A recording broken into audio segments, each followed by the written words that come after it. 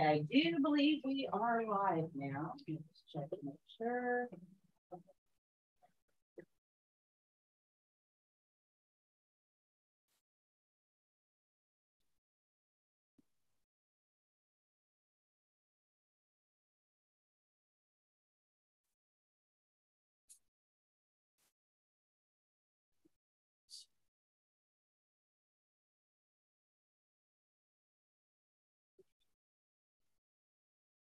Yeah.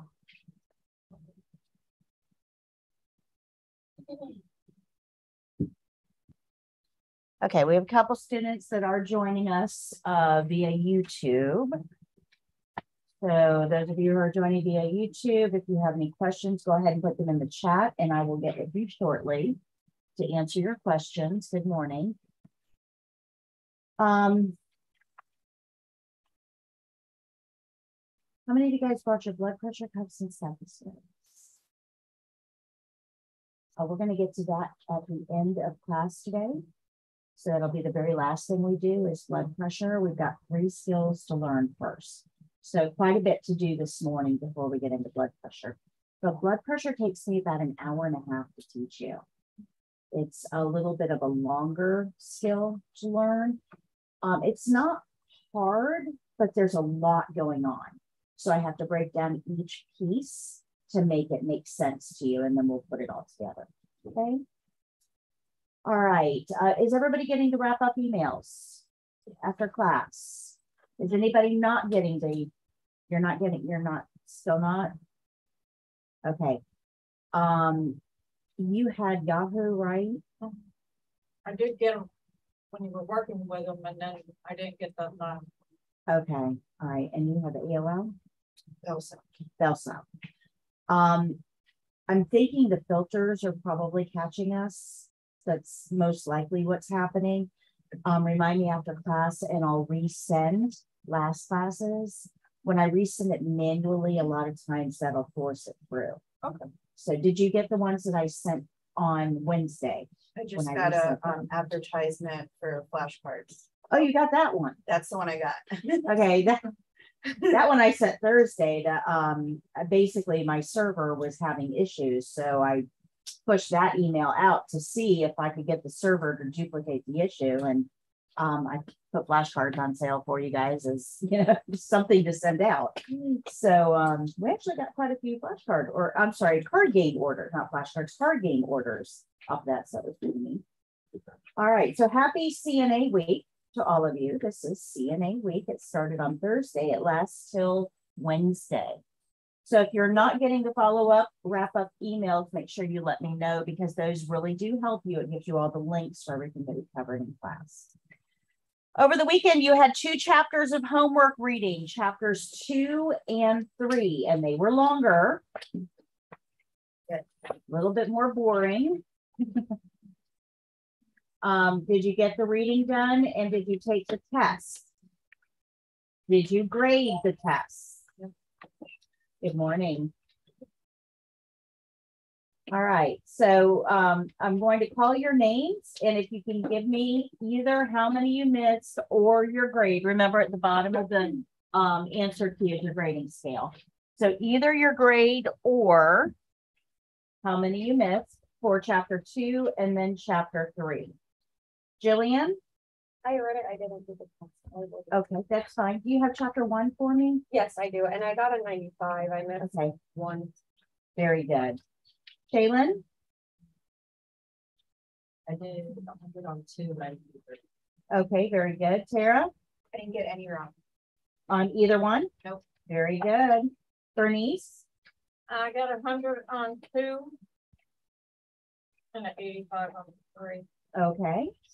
Gianna? Bailey? Patricia? I got a hundred on two and I'm grading chapter three. Okay, no worries. Stephanie? I got one wrong in two and two. Thank you.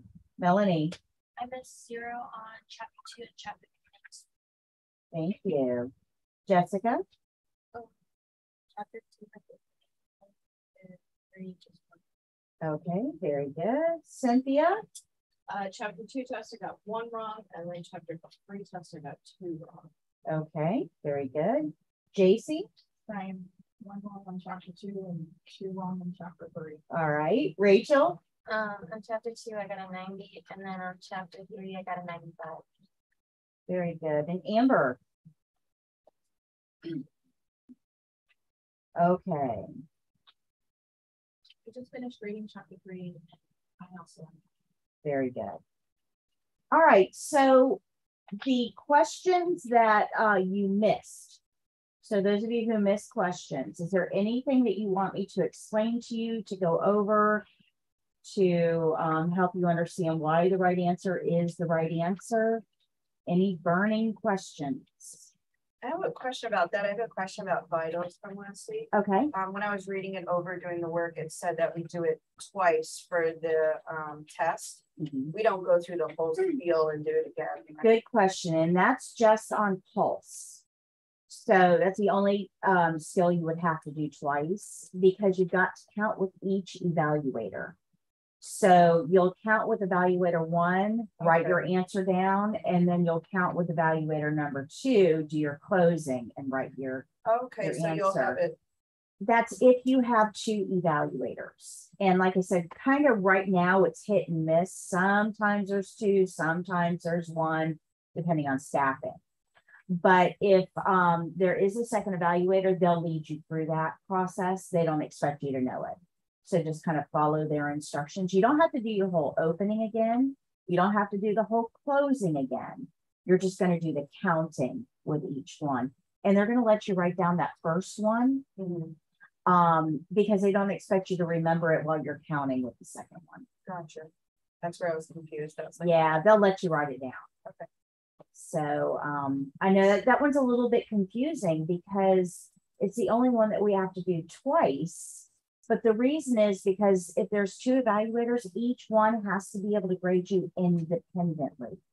That's the whole point of having two evaluators. Let me give you a little history lesson on this.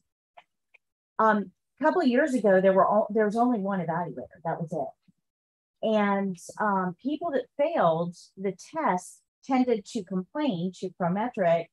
Um, she said, I didn't do this, I did it. She said, I didn't do this, I did it. And they kept hearing this over and over and over again. Well, it's a closed testing mm. process. So, how do you prove that you did something, right? So, there was really no way to defend yourself if you really thought that you were graded incorrectly. There was no real defense because, of course, they're going to take the word of the RNs. So, because they got quite a few of these complaints, the Board of Nursing, Florida's Board of Nursing, had to take it seriously and they had to come up with some sort of a strategy to help you guys. So, one of the things that they talked about doing is putting video cameras in the, the testing center so that they could go back and review. So, if you said, No, I did that step, they could go back and review at an administrative level to see, you know, were the evaluators missing things. Well, the evaluators did not like that idea. They did not want to be on videotape. So they quickly shut that down. So the only other option available was let's put two evaluators in.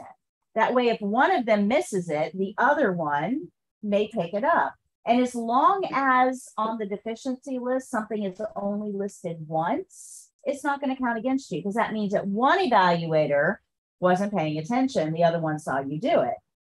Make sense? Okay. So the two evaluator thing is actually for your protection.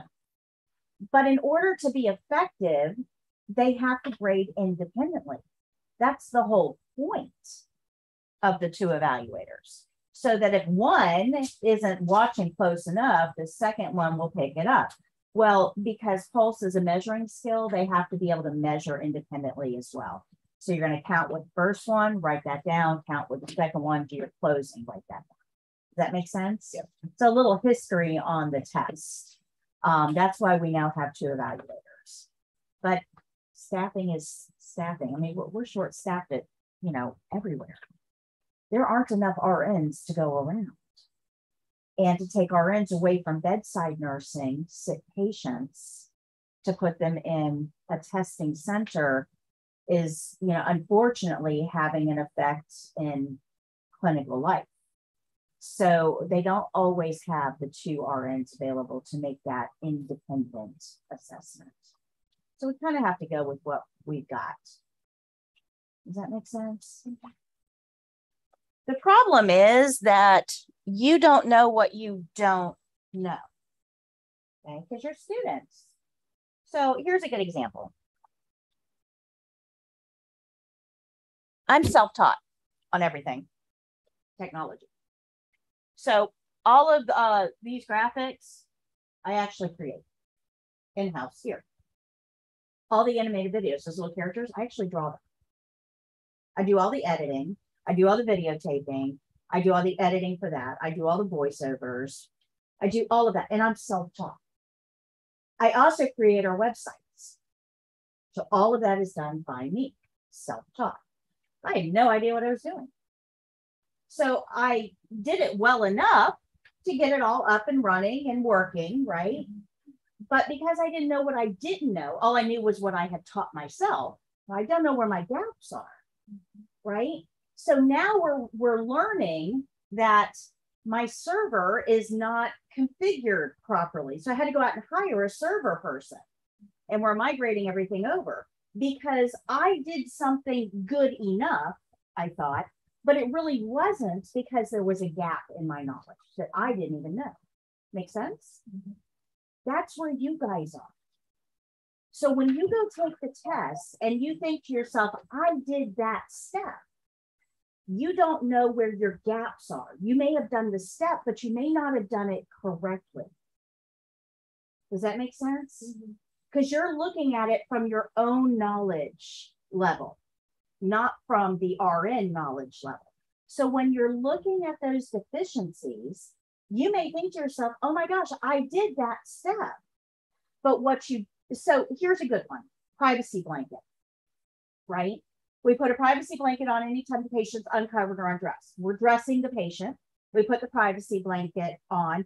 But when we do, we pull the sheet all the way down first. So the patient's completely uncovered, right? And then we put the privacy blanket on.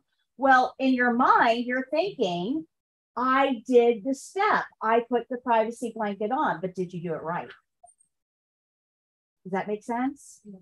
So because we expose the patient unnecessarily, you would not get that point.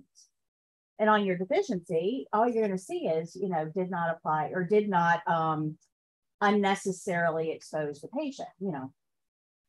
Does that kind of make sense? Mm-hmm. So those checkpoints are designed for RNs. So when you call up Prometric and you say, I did that step, they kind of roll their eyes and go, well, yeah, but you may have not have done it correctly. And that's the part that you may not realize. That kind of make sense to you? So the way that they're trying to get around that is through a second evaluator, but they're not always available. So our students do really, really well on the state exam. Really well.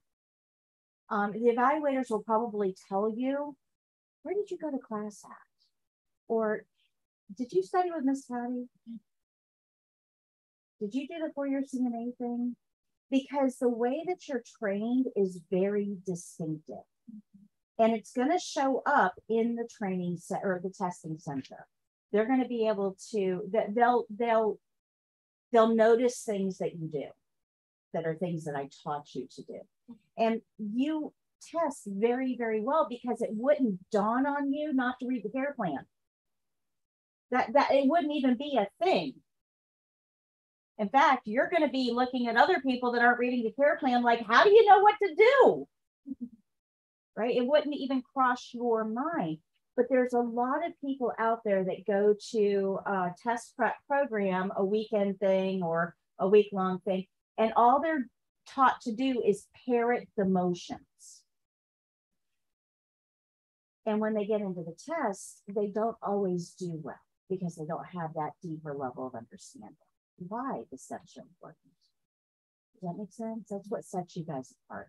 You're going to test very well. You're going to pass. More importantly, you're going to do these things out there in the real world where it counts. And that's the part that I'm concerned about. Um, but the second evaluator, don't let it throw you. It's actually there for your protection. Okay, good. Any other questions?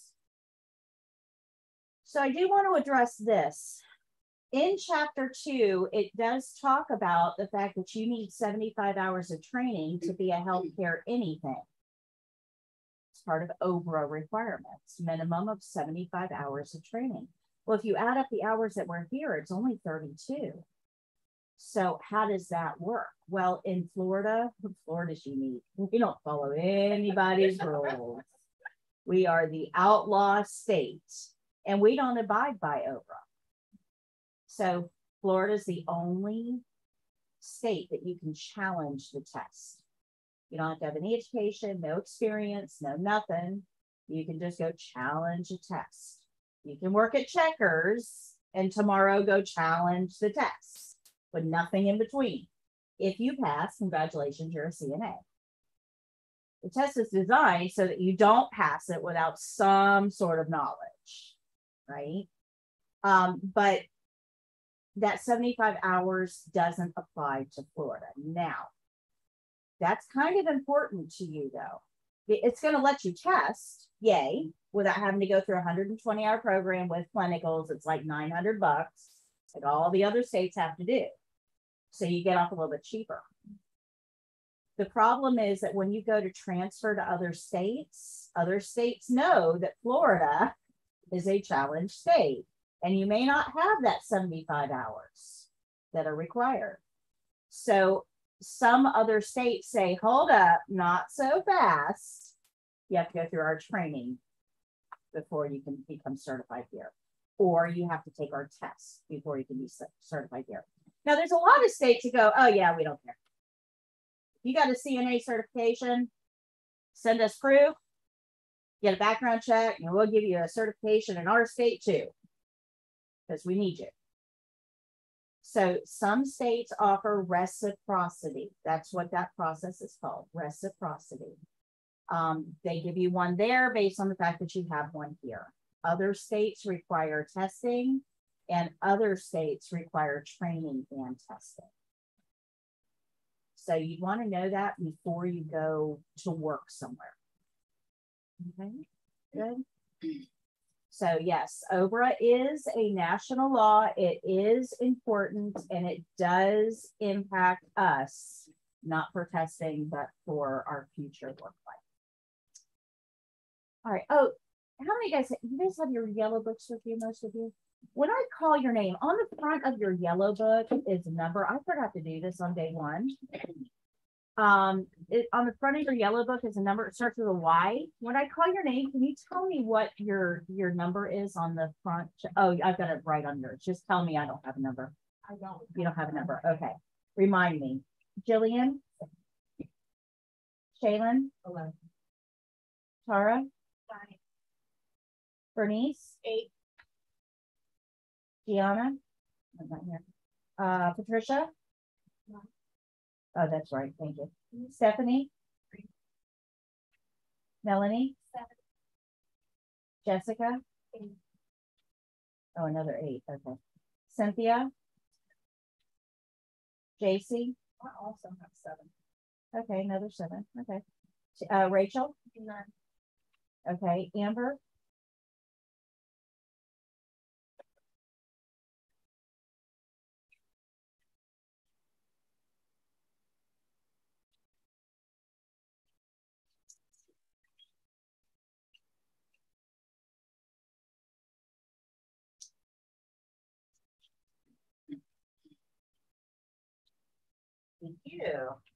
This is just how I keep track of who has what book.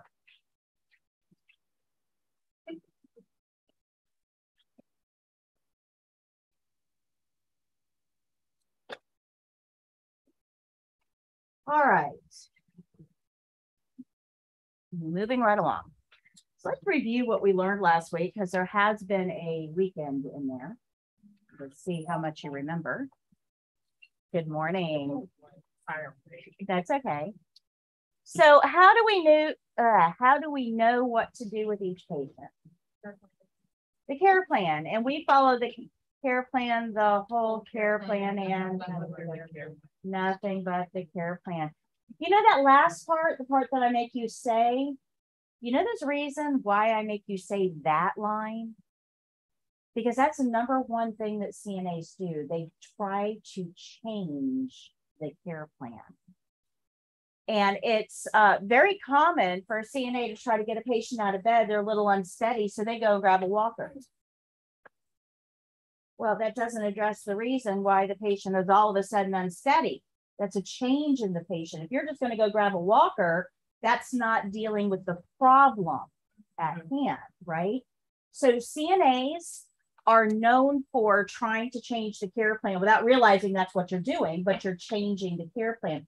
That's why I make you recite that. Nothing but the care plan.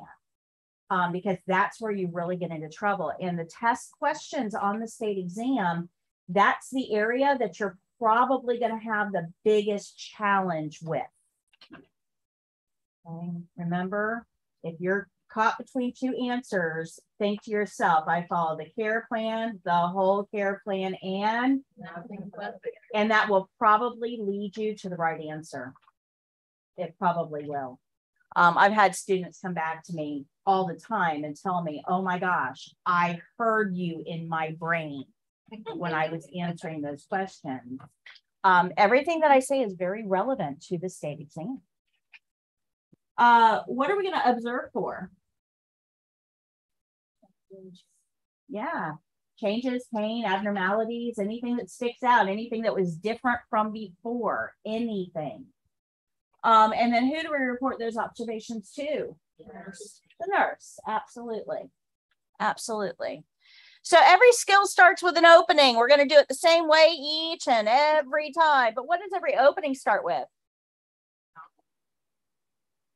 That is important. It is a testing checkpoint on every single skill. So if you just walk right in and don't knock, you're not going to get a check mark. And there's three things on that line. So even if you do two of them, you don't get the check mark unless you do all three. All right, so what are we going to do to the patient? Yeah, we're going to address them by name. We're going to identify them. I mean, who are you? You can ask their name. That's okay. We're not going to have ID bands for the state exam, remember. You can ask them what's your name, or you can just address them by name, Mr. or Mrs. Jones. For the test, we just use one name. So once we know who our patient is, what do they need to know about us? Who we are, yeah. Not just who we are, what we are. Name and title. Absolutely. Once we get all of the niceties out of the way, we know who they are, they know who we are, all those nice things. What are we going to explain to them? Yeah, what we're about to do to their body. Remember, patients own their own body, right? If you come to put your hands on me, I better know what you got planned because I'm probably going to block. and if blocking isn't successful, I'm going to ratchet that up a step and I'm going to start hitting.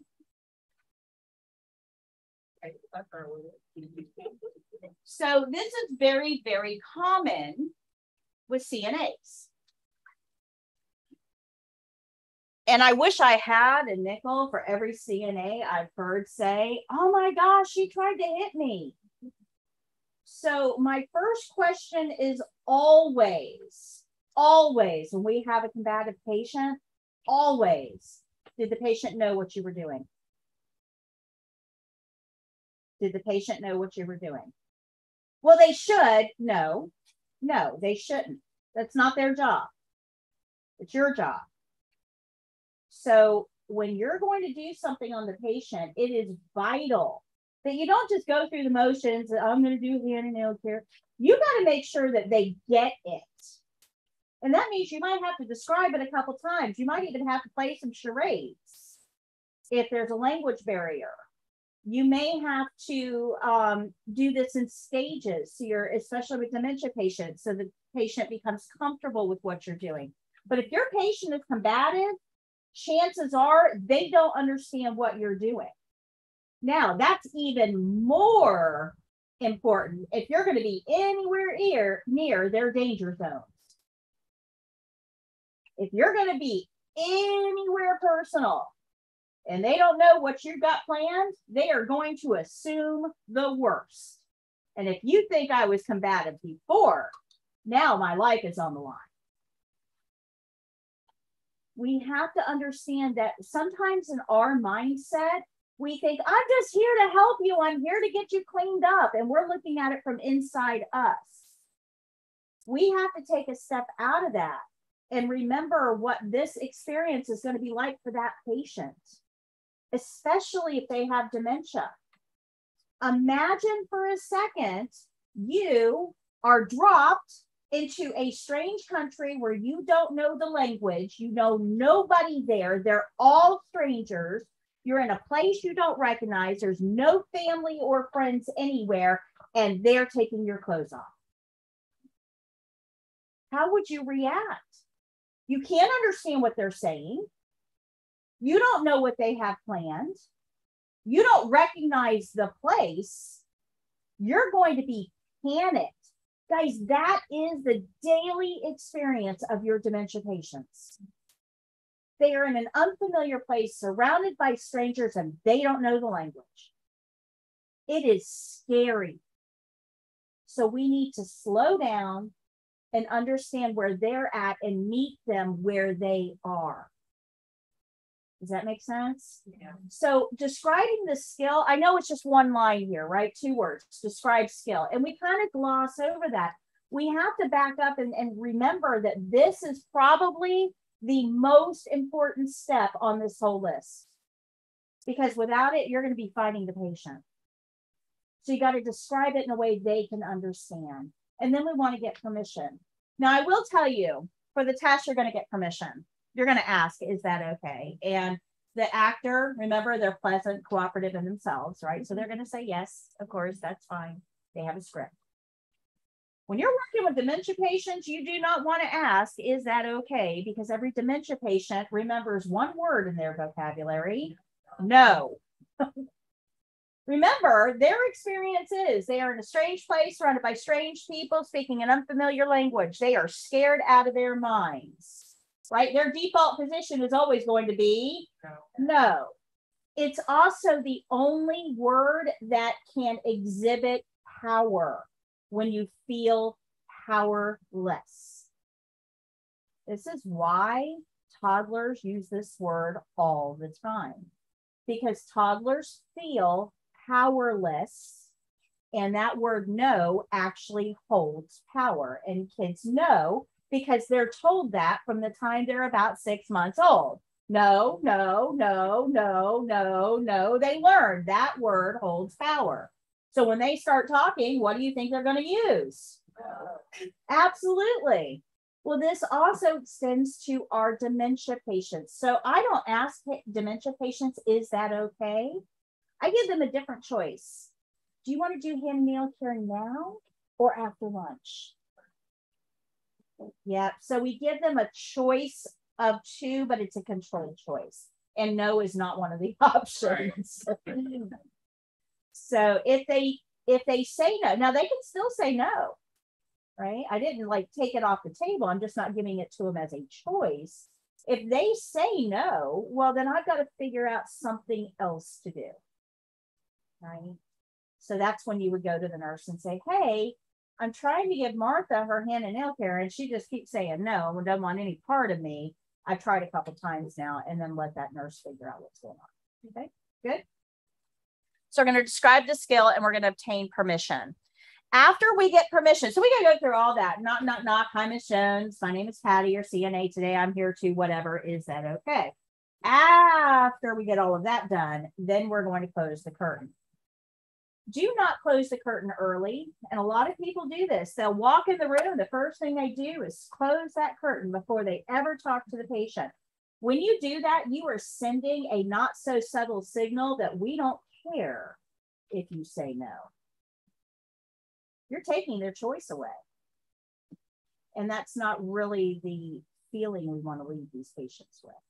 So we want to go, everything is out in the open. Hi, Miss Jones. My name is Patti, your CNA today. I'm here to whatever. Is that okay? Now I'm going to close privacy curtain once I have consent. There is a power dynamic there, guys. And it may not be visible at first, but you are standing fully clothed. Your patient is lying there in a gown.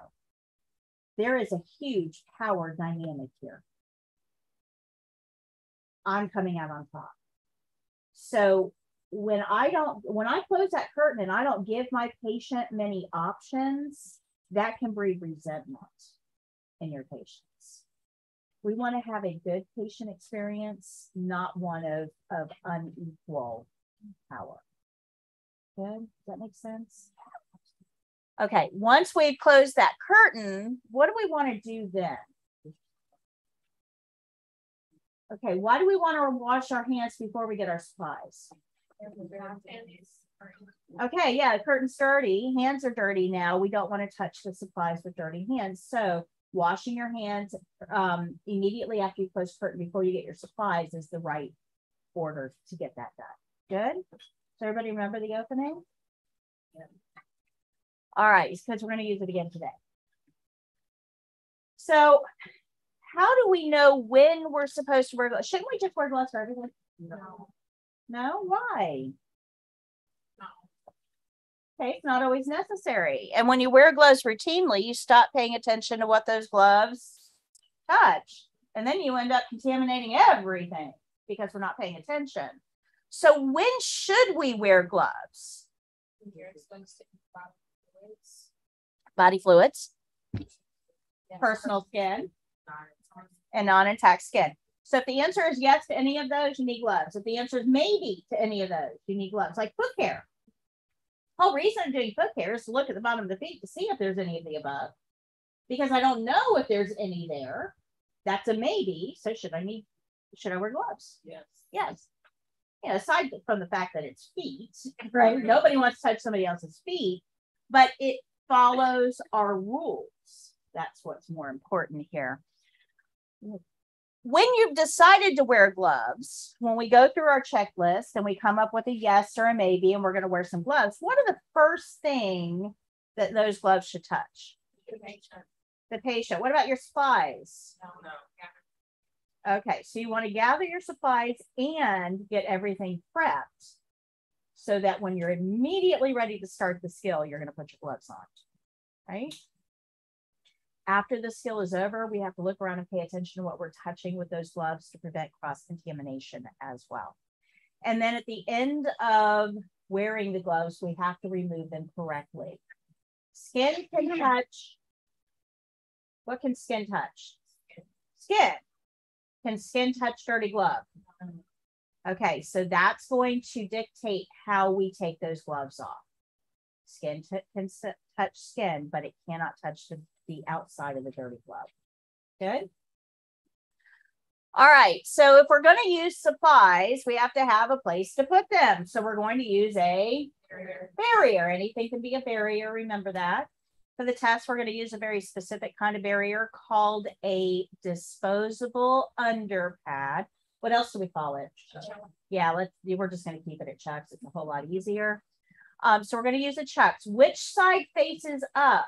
The absorbent side or the plastic side? Absorbent side faces up. Are we going to get it at the same time we get all the rest of our supplies? No. When do we get it?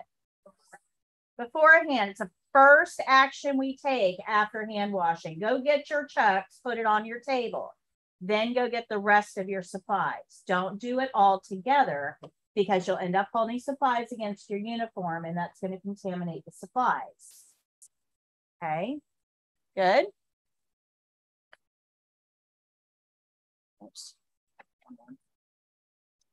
Anytime our patient is exposed or uncovered or undressed, we're going to use one of these guys.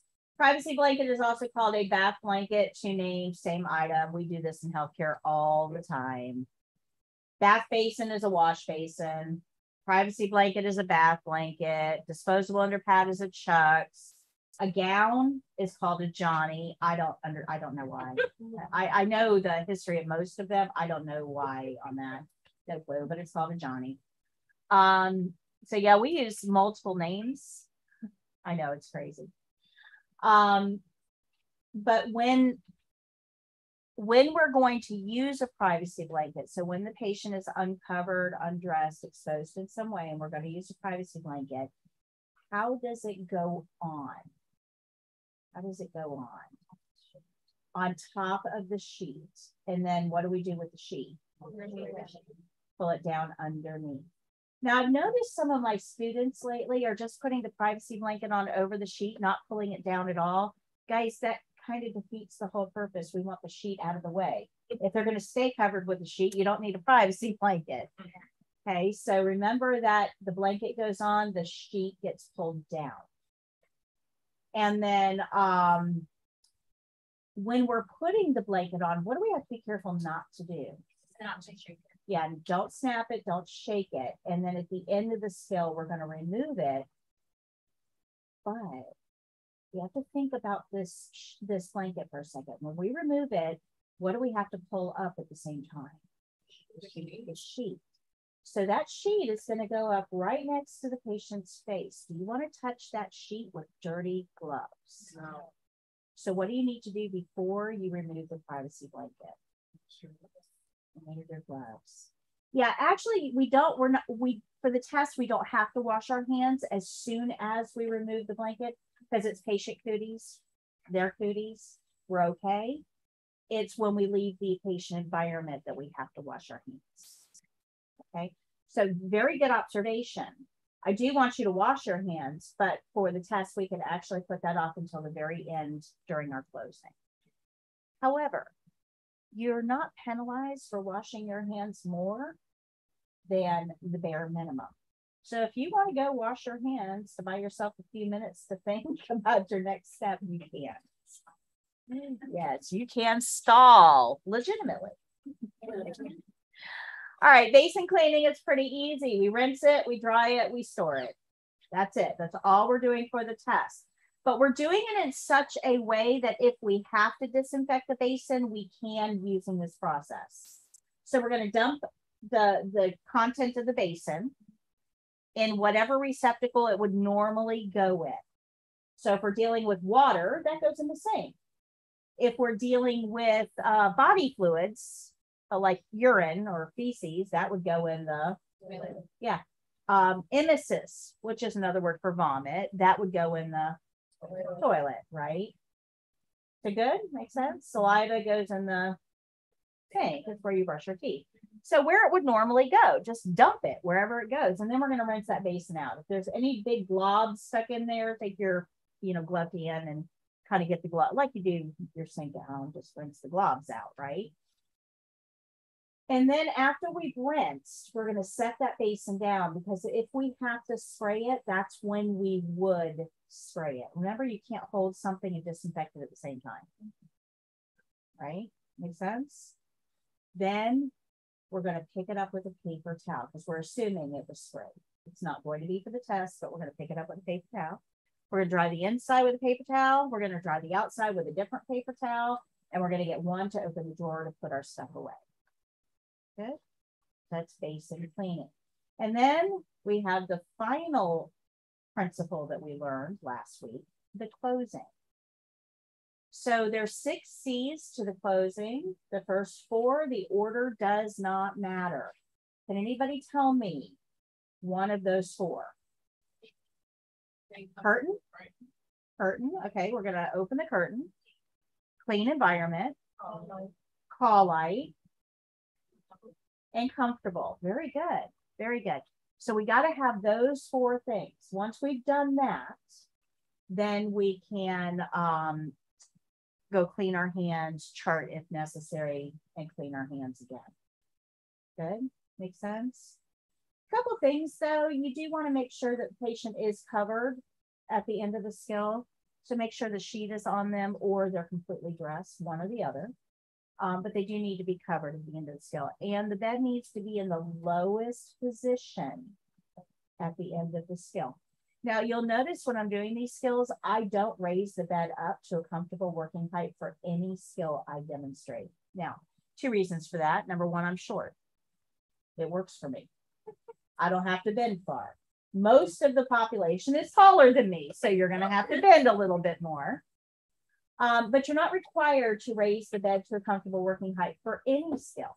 It's not required. You can if you want to, but it's not required. What is required is that the bed is in the lowest position before you end the skill. Now, a lot of people think, well, that's so the patient doesn't roll out of bed, and that's actually not what this is about. It is a fall risk, but it's not from patients rolling out of bed. How many of you guys sleep in a bed? How long have you been sleeping in that bed? Yeah. So you started out in a crib, right?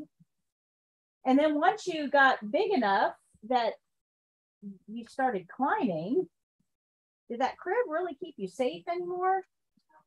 No, it actually provided more of an obstacle because now you're falling from a higher height and you got to go up, over, and then down. So chances of injury were probably pretty high. So once child starts climbing out of the crib, what does mom do? Yeah, we, we use a toddler bed. We lower it. That's right. We're going to take the obstacle away because clearly it's not going to have the desired effect. Now we have to teach the child how to sleep in a bed. This happens about 18 months, 18 to 24 months. During that time, when we transition into a toddler bed, mom probably put something soft on the floor in case you roll out, if she liked you anyway, right? and if um, and that that child learns how to sleep in the space that they have available to them. This is called spatial awareness. And you do a pretty good job learning this because now you can sleep in a bed without side rails, can't you? Yeah. And you probably can nap on the couch, which is a small space without side rails, right? And you probably can even go to friends' houses and hotels and unfamiliar beds and not fall out. Yeah. Now, we're not going to talk about alcohol because that does affect things, right? But generally speaking, you can sleep in a space, familiar or not, big or small, you're able to keep yourself safe within that space, even when you're dead asleep. Good job. Having the bed low does not prevent the patient from rolling out of it. The patient's not going to roll out of it. That's not an issue. You don't roll out, they're not going to roll out. That's not an issue. What is an issue, the reason it's a fall risk is because when you sit down on the edge of that bed and you swing your legs over at night and you go to sleep and you are dead to the world, when you wake up next morning, you are groggy. You are not awake. You swing your legs out and that floor is always exactly where you left it. It has never moved a day in your life. It's predictable. You swing your legs out, floor is right where you left it. When we raise the bed up, what do we do? We move the floor. Is that patient going to expect that? No. Because every night of their life, that floor is right where they left it. When you raise this bed up and you don't lower it to a comfortable working height, the reason that that is an automatic fail is because the patient isn't going to expect it and then they will fall. It's not about rolling out of bed. It's about the fact that they expect the floor to be in a certain place and you moved it. So at the end of the skill, the bed needs to be in the lowest position. Good. We're to have a whole lesson on side rails a little bit later. This week, I think. Maybe next week. All right, so today we are going to learn hand and nail care, which is one of the skills I was talking about earlier. So if you turn in your books to page 82, while you're getting that set up, let me take a look to see who's here. Good morning, Allison. Good morning, Helen. Thank you, Bailey. I'll write that down. Uh, Pablo wants to know, what do y'all recommend I do before taking my state exam? Okay, study would be good. What do you guys recommend? Practice. Practice would be good. Flashcards. flashcards would be helpful. How about just tuning in and watching what I say? Yeah, I do. Yeah, you're in the right place, Mama. Next question. Yeah.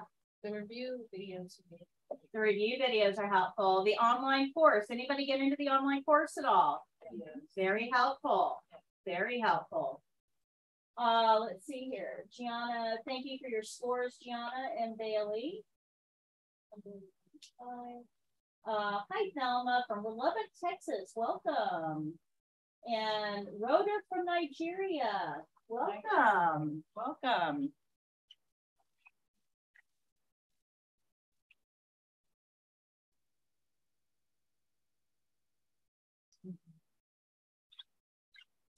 Right here, I can remember the scores.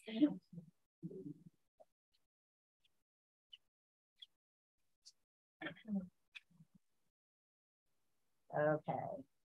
Jillian? Yes. Do you have your scores for chapters two and three? Oh, no, you told me you didn't. Okay. I can send them to their email tonight. though. That, that's just, um, remind me on Wednesday. Anytime I have a gap, I'm gonna ask you a couple times because it's Monday and I'm tired.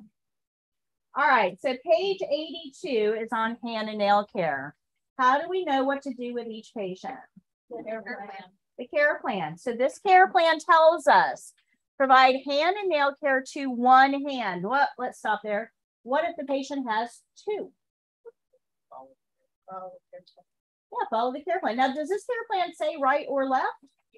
So you get to pick. Pick one. Just do hand and nail care on one hand. The test is not going to specify. Um, that's because you guys are going to be patients for the test. You might have a big old cat scratch on one of your hands, and that gives the evaluators the latitude to say if you've got a cat scratch on your right hand, to tell her you're going to be doing the left hand, right? So during the test, it allows the evaluators to assign a hand based on what we have going. In a clinical setting, if we're only doing hand and nail care on one hand, there's a reason. Because most people have two. Right? So most care plans are going to be hand and nail care on both hands. If in a clinical setting, we're only doing one, there's a reason. It will indicate which hand we're doing. Good? Okay. People mess this up all the time. You won't because it wouldn't dawn on you, right? Care plan says one hand, you're going to do on one hand. one hand, right? It, it's, it's not going to dawn on you to do anything other than what the care plan says. But a lot of people during the test think, oh, I'm just going to do both hands for extra credit. Is there extra credit? No. In fact, because they deviated from the care plan, what do you think that's going to do to their score? Not get out. Yeah, yeah. So yeah, there is no extra credit on the test. We don't go above and beyond. We follow the care plan, the whole care plan, and ah, there it is. All right. Uh, it says the patient is sitting in a chair at the bedside and can move as directed. Woohoo! This is an able-bodied patient. You can ask them, put your hand in the basin, and they will. Take your hand out of the basin, and they will. It's awesome, right? This is not a 90-year-old invalid. Guys, this is a mini Manny. We're gonna wash the hand, we're gonna rinse the hand, we're gonna dry the hand. We're gonna clean under it with an orange stick, and we're gonna file the rough edges with an emery board. We'll put a little lotion on and wipe off the excess. And then we're gonna clean up. The whole reason that we're doing this skill is not really to clean the hand. The reason we're doing this skill is because CNAs cannot use nail clippers. Those are advanced pieces of medical machinery you are not allowed to touch. I know you got them at your house, but we don't use them on patients. If we do hand and nail care once a week and we file the nails on a regular basis, you never have to cut them. And when we cut nails, chances are if you're cutting them on yourself, you're going to be super careful. If you're cutting them on somebody else, it's really easy to get the skin on the end. And we're going to learn a little bit later in the program why that might be dangerous, especially with diabetics. So we don't use nail trimmers. If we file the edges routinely, there's no problem. They don't grow long enough to need to be cut. Make sense? Good. We're also going to clean under those nails with an orange stick because, ew, right? If this patient isn't going to the sink and washing their hands on their own on a regular basis,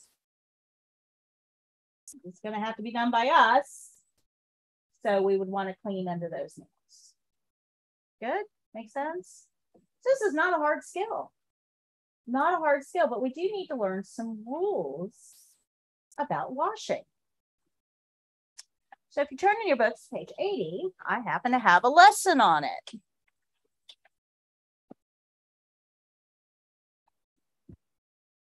Now, I really struggled with this, guys.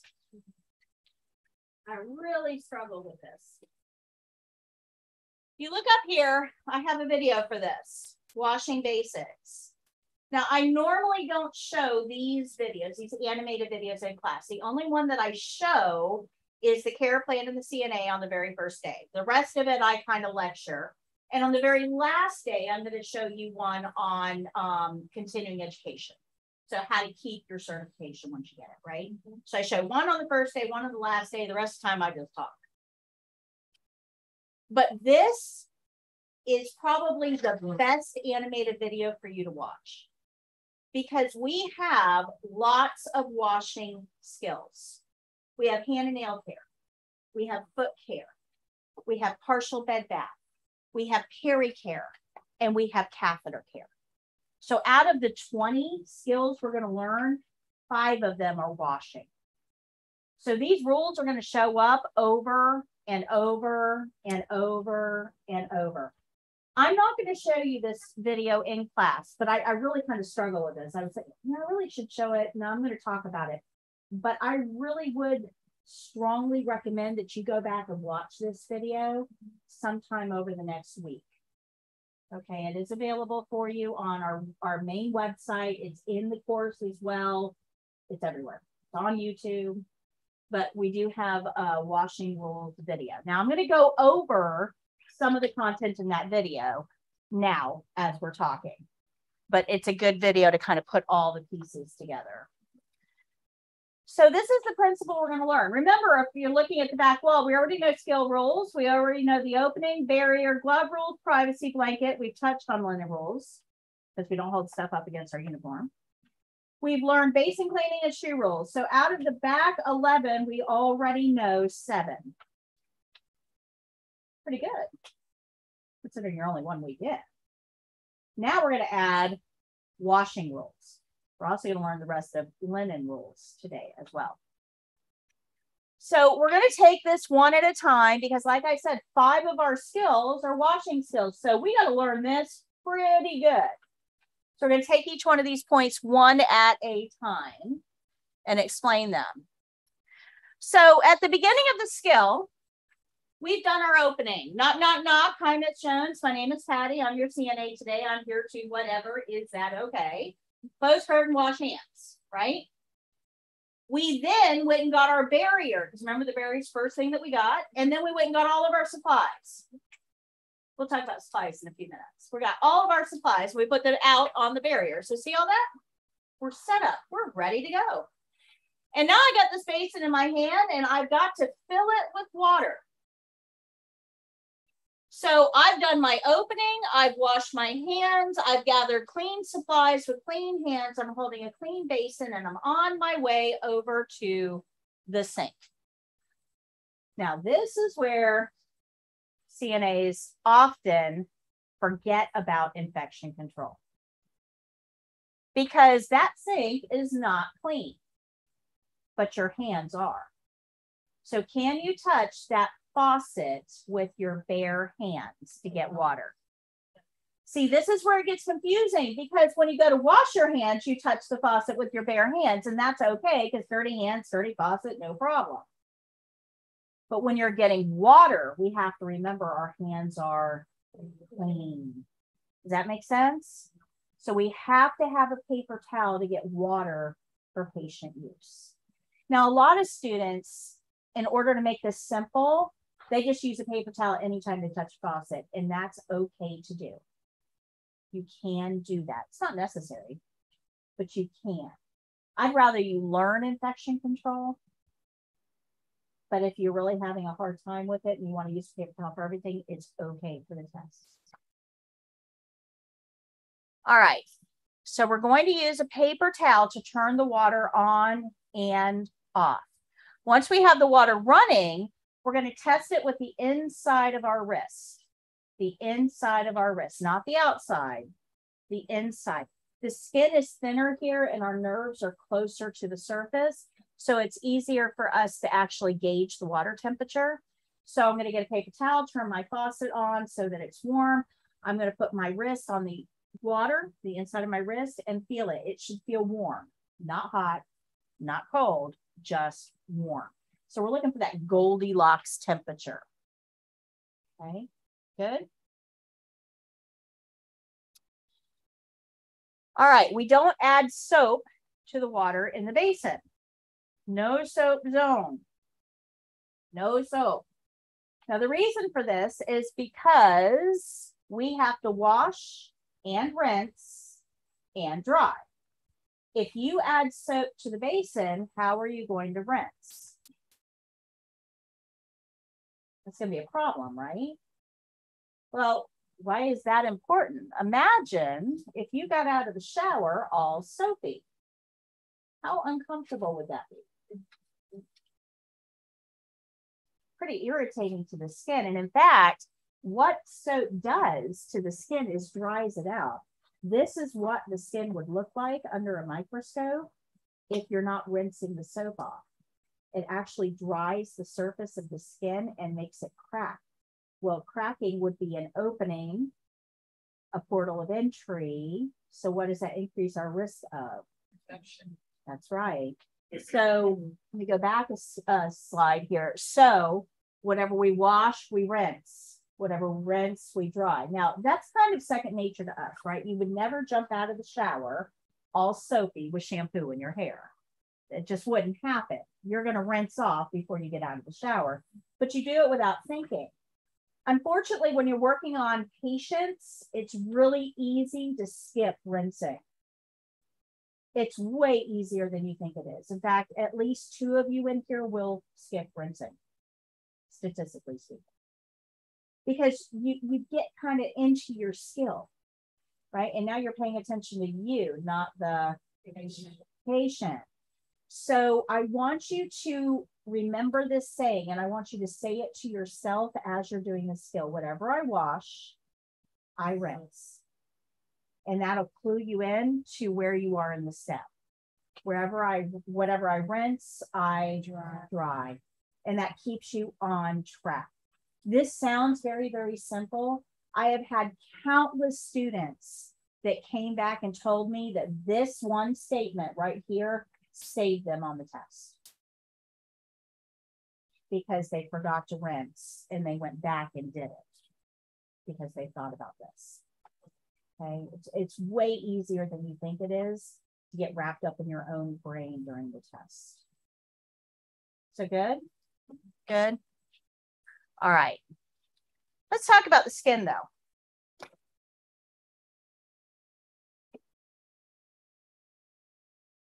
Your skin changes during aging. Have you ever looked at an old person? An old person's arm? Mm-hmm. Right? You'll be able to use myself here very shortly.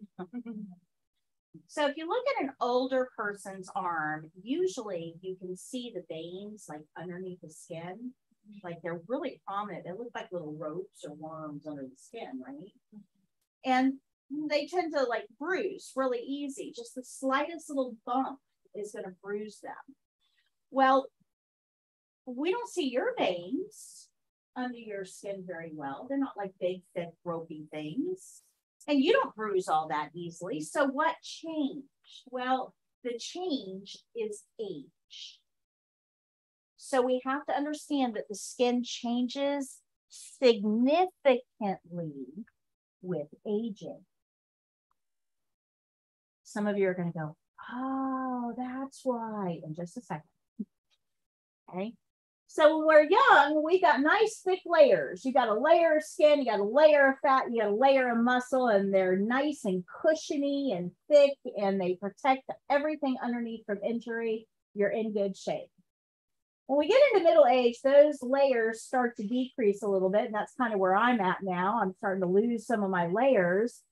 And if you notice here, this layer of fat, pretty thick, and that's protecting underlying structures. This layer is a little bit thinner. As we go into elderly age, look how thin that layer is. So it's not protecting the underlying structures very well. Our layer of subcutaneous fat, especially in our extremities, tends to go away as we age. It breaks down. So we end up literally with skin over blood vessels over muscle. So this is why bruising can happen and things like this and skin tears because the skin, the layer of skin, look how thick that skin layer is up there. Look how thin it is down here. It doesn't take much to tear that. It's like tissue paper because it's so thin. So this is normal aging process. Well, why do we care? Because that layer of fat does several very important things. That layer of fat actually acts as a wetsuit. So anybody know what normal body temperature is?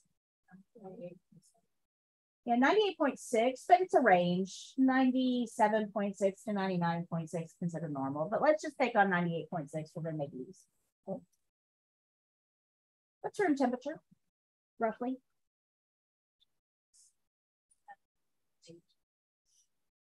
Okay, 72, 78, 70. Let's just make easy numbers. Let's go 75, right? All right, so let's say that you've got a pint of ice cream in the freezer and you take it out of the freezer and leave it on the counter for half an hour. What happens to the ice cream? Melts. You take a cherry pie out of the oven and it's 325 degrees and you leave it on the counter. What happens to cherry pie? It cools down, right? So room temperature always wins. Does that make sense? Room temperature always wins. Room temperature is going to heat up cold things, cool down warm things. Room temperature always wins. That's important. Because our body temperature has to be 98.6. What did I just tell you about room temperature? And room temperature is about 75 degrees, which means that this room right now is trying to cool your body down below 98.6 degrees. Room temperature always wins, unless there's an outside force, or in this case, an inside one your body has to work hard to maintain that temperature of 98.6 degrees because the room is trying to cool you down. And if your room, if the room temperature wins and you get down to below 94 degrees, you will die. It's not much room for error there, guys. 98.6, you're colder than 94, you're dying. What's room temperature trying to do? Cool you down. So that means that your body has to take the food that you eat and burn it to create heat to keep your body temperature at 98.6. That's a lot of work. That is a lot of work that your body has to do. Now, when you're young and you got this nice wetsuit on, that's holding in a whole lot of that body heat. So your body doesn't have to work so hard to maintain that temperature. What do you think is going to happen when that wetsuit goes away?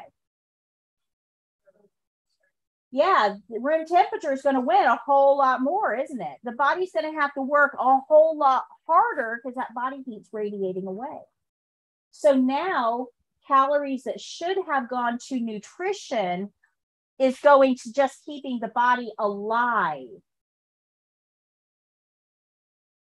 So our body systems aren't going to run as effectively. Does that make sense? Good. But that layer of fat, that wetsuit does something else as well. It doesn't just keep our body heat in where we need it, it keeps outside temperatures from affecting it. So you can sit in this 72 degree room and feel somewhat comfortable, maybe a little cool, but somewhat comfortable. You can step outside in 90 degree heat and feel warm, but not like dying, right? Because that layer of fat helps protect you from temperature outside your body. It helps keeping that 90 degree temperature from raising your temperature. It helps keep the room being cold from lowering your temperature. So that layer of fat does two very important things. It keeps outside temperatures out. It keeps inside temperatures in. It's important. So what do you think is going to happen when we lose it? So body is going to be releasing more heat. It's going to have to work harder our calories that we take in are going to be used for just maintaining life rather than nutrition, right? But it's also going to react to outside temperatures. Have you ever heard an older person say, Yeah, I can't live up north anymore. I just can't deal with the cold? They're not lying. They don't have a wetsuit that cold that feels cold to you is downright frigid to them. But it's also why you can walk into grandma's house and go, Oh, grandma, my gosh, it's 85 degrees in here. wow, hot. Well, they don't want to be in a cold environment because remember, room temperature always, and that means our body has to work harder to maintain right? It's why everybody retires to Florida. Mm-hmm. Because we have weather that's suitable for older people that don't have their wetsuits anymore. Make sense? So when we're in a in a facility and our patients go, "Oh my gosh, I'm so cold! I'm so cold! Give me a sweater! Give me a blanket!" Do not argue with them. They're serious. It is cold to them. You are fully dressed with a wetsuit intact. You are not going to feel temperature the same way they do. Two totally different perceptions. But it's not just room temperature, it's also water temperature. So when I feel that water with the inside of my wrist, and I think, hey, it feels pretty good. That means it feels pretty good to me. Who really needs to be the one checking the water? The patient. That is a graded checkpoint. And if you miss it, it is big. Maybe a silly question, but are there more specified foods one person should eat than other No, not really. Not really. Um, yeah, you know, some people will eat spicier foods, but usually as you age, your tolerance for spice goes down. So it, it's not really um, effective for temperature regulation. It's much better to regulate the temperature by um, raising the room temperature. That way their body doesn't have to work so hard. It's kind of hard to affect in the aging process anyway, it's kind of hard to affect body heat internally with aging? Good question. So does this make sense? Do you now see why little old grandmas always have sweaters on? Do you understand why this is a graded checkpoint to ask them to test the water every time? Now, the other problem here is that people have different preferences. I like my showers hot enough to remove skin. Scalding hot is where I'm at. Right? My husband likes cool showers. He doesn't like scalding hot. So we don't have the same preferences. You guys also don't all have the same preferences. So why do we assume that we're the only ones that know what our patients are going to want? Everybody has a little bit different idea. Let me tell you a story about this. I was working in a nursing home and I could hear screams from the shower room. I mean, blood curdling screams from the shower room. And I'm thinking somebody fell, something, I, you know, something's going on. So I go into the shower room and I couldn't see. I mean, my glasses fogged up right away. There was steam everywhere. And the patient, little old lady sitting in a shower chair, um, is fighting for, she's probably a hundred pounds soaking wet and and completely naked and wet, and she's fighting for all she's worth. And the CNA is trying to push her under the water spray, and she's got her hands on the walls and hitting and biting and kicking and screaming. And it's like, you know, a whole wrestling match going on in there. I'm like, whoa, stop, wait a second, what is going on here? And she's like, I have to, to shower this patient, and she's not cooperating. She's uncooperative. And we throw that word around uncooperative. There's no such thing as an uncooperative patient. That's their body. It's their body. They have the right to determine what's going on with their body. There's no uncooperative. That means that you have more right over their body than they do. I hate that word. So I'm like, hold up, grab the bath blanket, put it on the patient. So at least she's, you know, covered, not feeling so exposed. I'm like, turn that water off. So the, the CNA goes over and turns the water off. And I looked at the patient and I'm like, Are you okay? Are you okay? And she all she kept saying is hot, hot, hot, hot. And she was being burned by the water and trying to tell the CNA stop, and the CNA wasn't listening. That is all kinds of wrong. Help isn't help if it doesn't help. You are there to help that patient get clean. Help isn't help if it's not helping. And you are not helping her right now.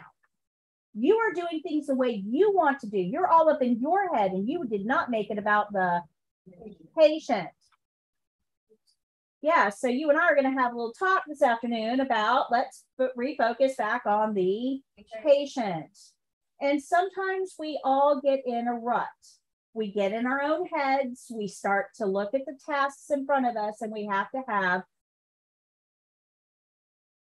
a reminder to get our priorities straight.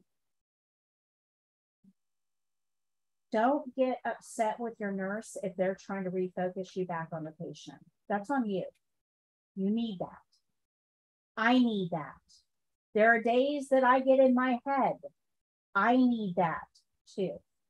But if we don't hold each other accountable, who's gonna who, who's going to? Right. So be careful here. Make sure the patient checks the water and make sure they're okay with the water temperature. And if at any time they say, I'm not okay with it, listen to them. It's their body. We're just there to help. Good? Make sense? All right. So we always have the patient check the water. It doesn't matter if they're sitting in a chair for hand and nail care or foot care, whether they're laying in the bed for a partial bed bath, peri care, catheter care, or whether we're helping them in a shower or a bathtub. Doesn't matter where the water is, we're going to have them check it. And then if we're taking a long time here, and some of these skills can get a little long, if that water becomes cold, you probably ought to change it. Okay. Good. Okay, couple other things with washing rules. I should, no, let me go back here. Find it, where is it? Oh, there's a lot of slides. There we go. All right. so we've gone over most of these. Basins are no soap zones. We have to keep our water clean for rinsing. We're going to use paper towel to turn the faucet on. We're going to use warm water, not hot, not cold. Check it with the inside of your wrist. Mm-hmm. We're going to let the patient check the water temperature too. Uh, skip this one for now. We're going to go over that a little bit later in the program. Whatever we wash, we rinse. Whatever we rinse, we dry. Yeah, we're gonna change that water if it gets cold or soapy. But um, there's two more here I want to go over. Don't get the surface wet. In this case, our patient sitting in a chair at an overbed table. We're gonna be working on the table. So what do we want to put on that table to keep it from getting wet? A barrier. A barrier. That's right. If we're working in bed, like getting a bed bath, we've got to protect the sheets. You can use a barrier, that's fine. Might be more comfortable for the patient if you use a towel. Um, either way is fine. And then if we're going to put lotion on, we always warm that lotion up in our hands first, and then we put it on the patient and then wipe off the excess because your skin is only going to absorb so much. Whatever's left that didn't get absorbed is going to lay on the surface of the skin. So if we're working with hands, right, if I put lotion on one of your hands and you got to pick up a cup of hot coffee with that hand, what's going to happen? Yeah. So we always warm the lotion up, rub it in, and then wipe off the excess anywhere on the body. Very important. Good. All right, so these are our um, checklist items for this particular skill. We're going to soak the hand in water. So remember, we're going to do our opening. We're going to get our supplies. We're going to get our water using a barrier to turn the faucet on and off. Check the water with the inside of our wrist. We're going to ask our patient. That's all under washing rules, right? All of that is covered here, here, here, and here, right? All of those steps. We're going to decide if we need gloves. Now, our patient is you, another testing student, sitting in a chair. You have no scratches, no marks, no nothing on your hand. You just got skin. I'm nowhere near her personal areas. Guys, if you find yourself in the neighborhood of personal area doing in nail care, you took a wrong turn. okay.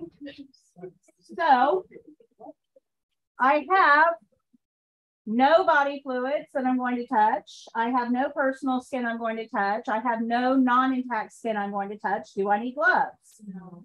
No. If she's got a big old cat scratch on that hand, do I need gloves? Yes. It's based on the patient, not on the skill. Right, so we'll evaluate glove, glove rules. So we're going to soak the hand in water, and then we're going to take it out of the water because remember, basins are no soak zones. So I'm going to get a wet washcloth, wring it out really well. No drippy wet washcloths here.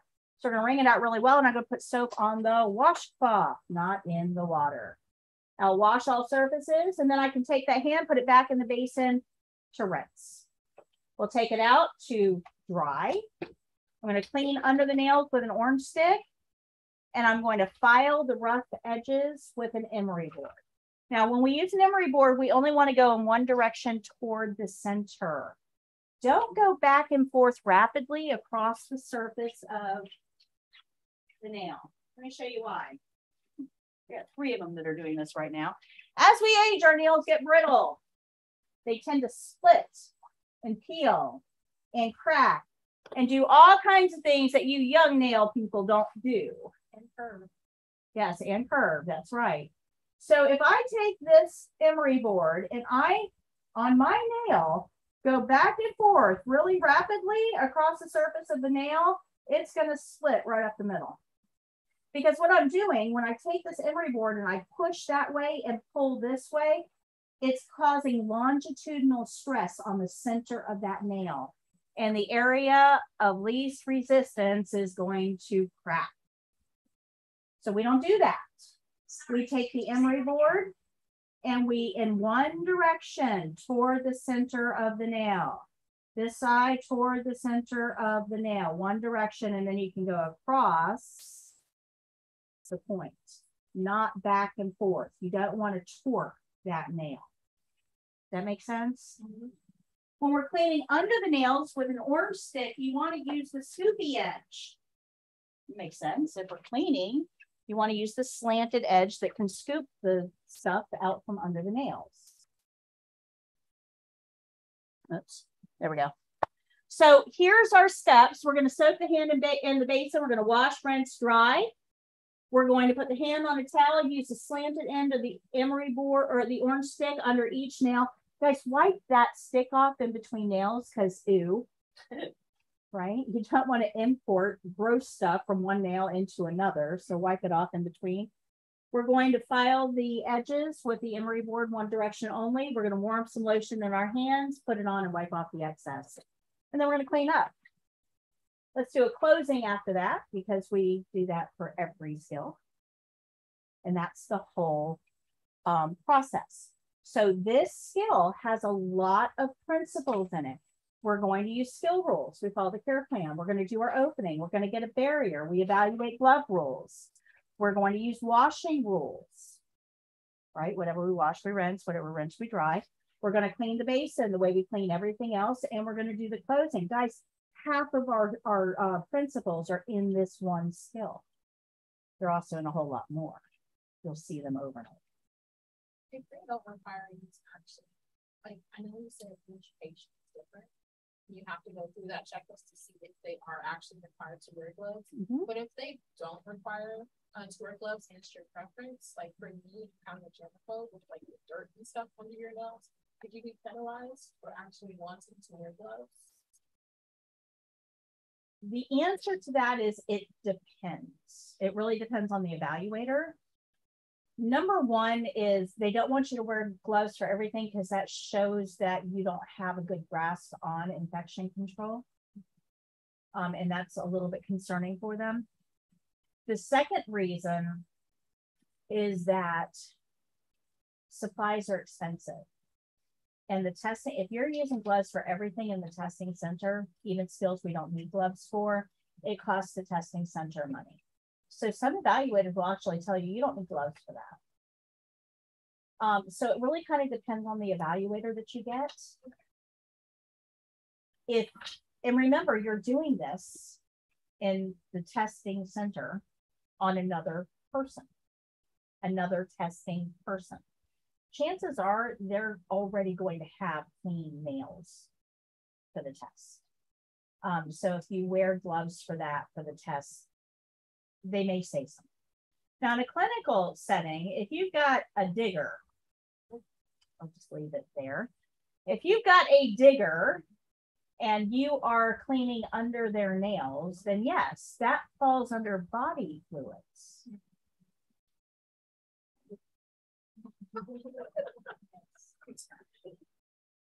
Yeah, guys, hand and nail care should be done at least once a week, at least.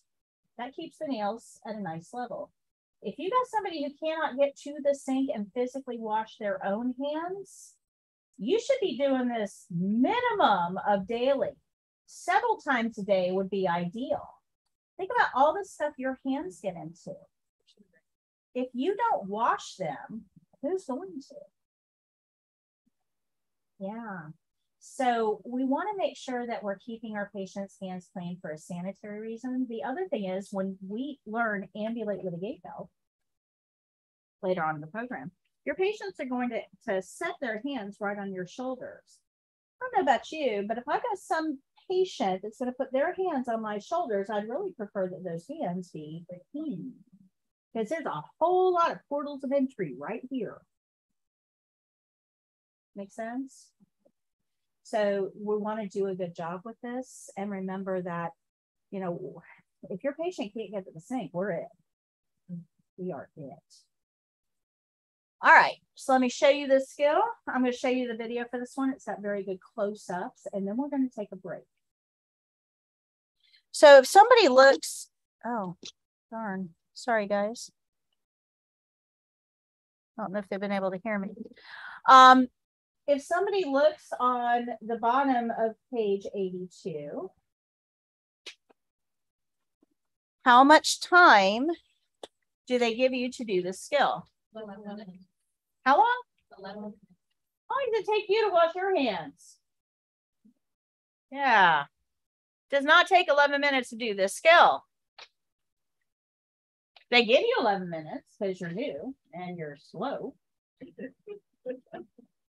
and that's okay. Eh, you're supposed to be slow. This is the one time in your life it's legit to be slow.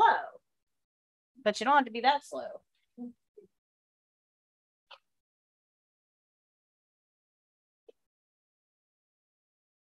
So if you look here,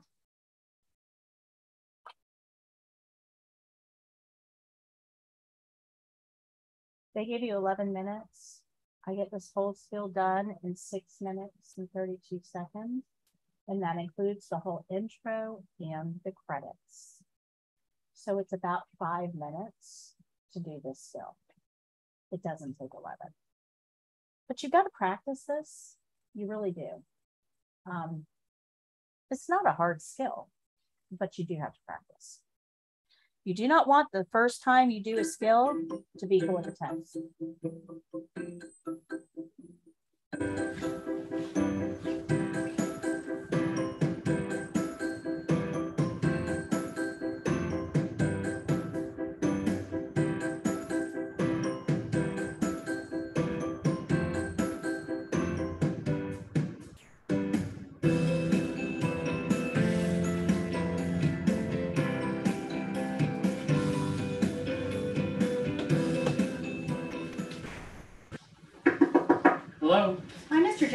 Name is Patti. I'm your CNA today. How are you? I'm doing great. How about you? Wonderful. I need to do hand and nail care on one hand. Is that okay? Yes. I'm going to close your curtain for privacy. Let me go wash my hands and then I'll gather my supplies. Okay.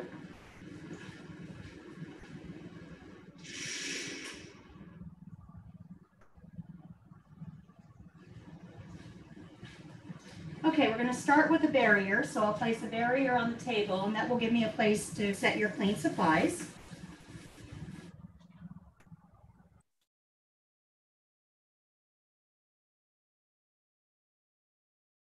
And then I'm going to gather a basin, soap, and lotion.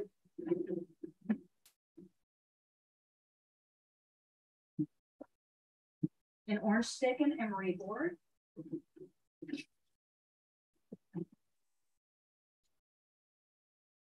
Two washcloths. And a towel.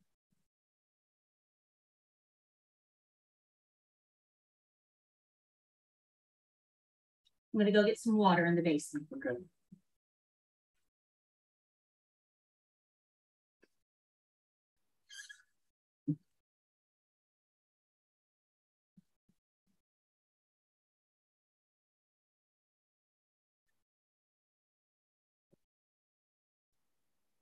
Okay, Mr. Jones, would you like to check the water temperature, make sure it's okay?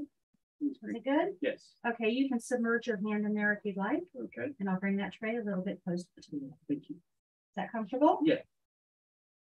I'm Gonna place the washcloths in here, and we'll wet one of the washcloths and use it to get your hand wet. Now I'm gonna place your hand over here on the towel. Apply soap to the washcloth. And now I'm gonna wash all surfaces of your hand, including in between the fingers, in this area between the thumb and the forefinger. I'm gonna turn your hand over now and wash the palm of your hand. Now we're gonna place your hand back in the basin to rinse.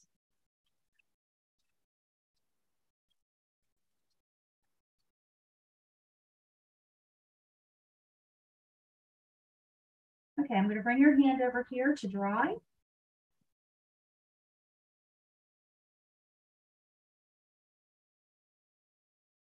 I'm gonna dry between the fingers. And I'm gonna turn your hand over and dry the palm of the hand as well. Okay. Now we'll take the orange stick and I'm gonna clean under each nail. Just cleaning the edge. Does that hurt? No. We'll wipe the orange stick on a towel in between each finger.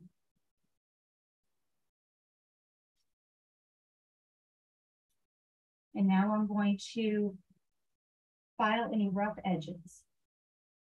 So I'll file from the outer edge to the middle. Checking each nail for any rough edges.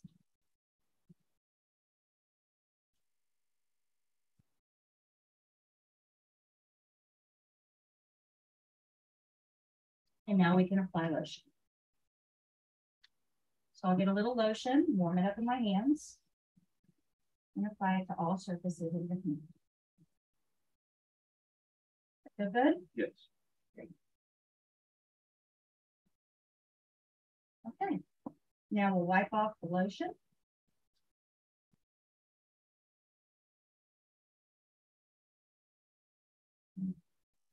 How's that? Great. Wonderful. I'm going to place my soiled linens in dirty linen container and then clean up my workspace. I'll be right back. Okay.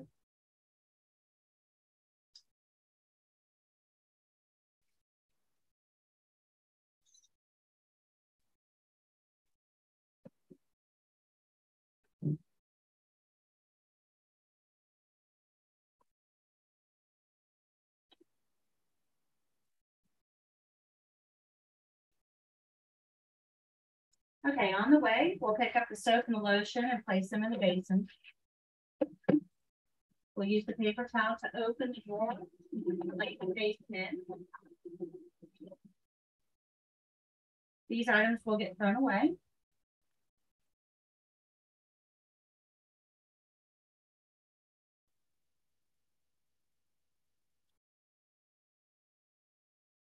Okay, Mr. Jones, are you comfortable? Yes, ma'am.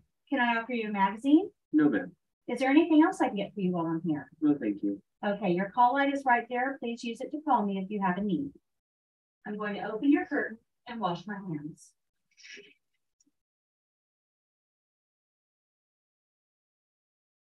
After washing my hands, I'll review the steps of my skill, make any corrections, and then tell the evaluator my skill is done.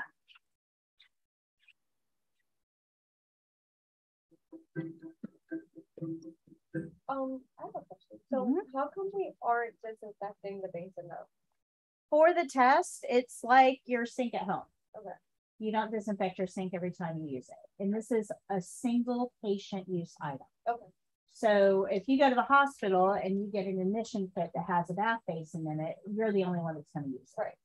So there are some situations where we do, even because it, it- even though it's single patient use, we are going to disinfect it in between uses. Right. Especially if somebody has a depressed immune system or um, is on uh, chemotherapy, which depresses the immune system, that type of thing. Um, or if they have a current infection. So disinfection would be required. We always go by the care plan. Okay. For the tests, we're simply going to rinse, dry, and store. Good question. Any others? Any others? No? Okay, we got a lot of people joining us from all over. Let's say hello to, I get my mic working now. So we're gonna say hello to, um, let's see here. Kimberly is watching from Port St. Lucie. Naomi's watching from West Palm Beach, Delray Beach, West Palm Beach County. Um, Rose is from Boynton Beach. And Isa has a state exam today. Any tips? Yes, follow the care plan. Follow the care plan. Watch us as long as you can. Uh, good luck on your test. Let us know how you do. We'll give you a shout out on Thursday if you drop by my channel and let me know that you passed. All right, guys, we're going to go ahead and take a break. Come back in 15.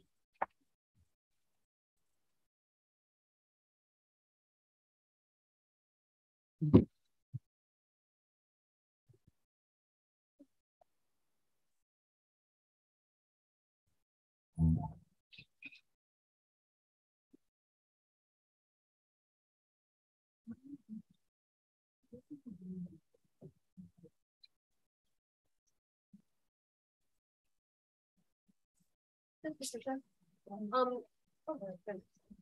I still need the, um. What's it called, the paper from, the review sheet from last week. Okay. Cause I wasn't here on Thursday.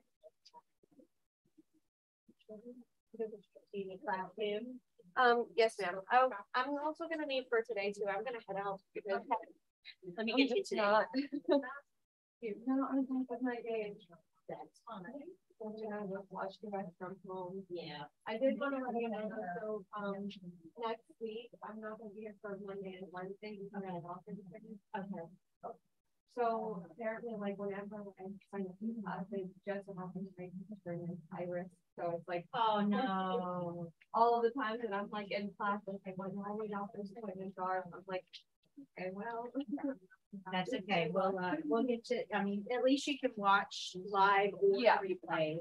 Let me get you five and six then. yeah, it was just like ironic how everything happened because when I signed up, I was completely okay. And then it's like closer to class starting, and it's all these problems. I'm like, oh. But at least like I'll get cleared now here too. Yeah. So once I got these appointments, I'm good. Well, we wish you lots of luck. Thank you.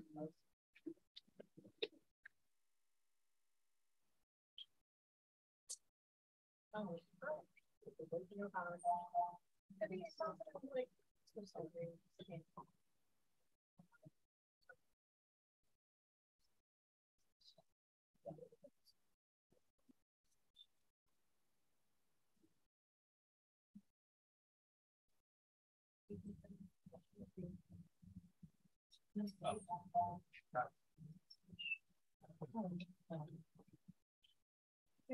You too. Hope you get some rest. Thank you.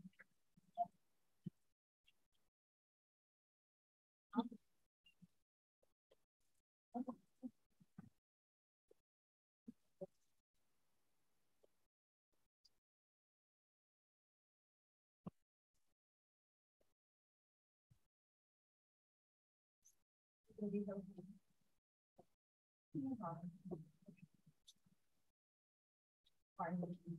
you.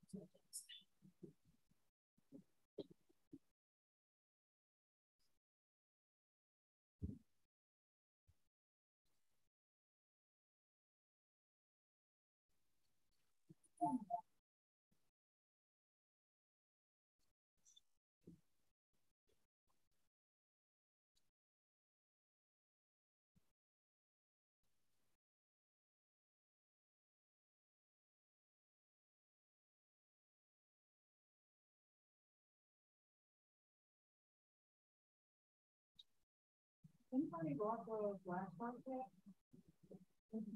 I was thinking about it. Yeah, me too. If but they're on sale. If anybody can.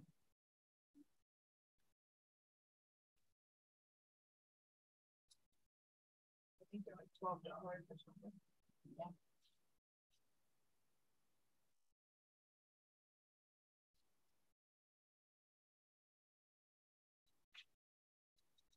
Do we need an invite to go to her class and take all the things?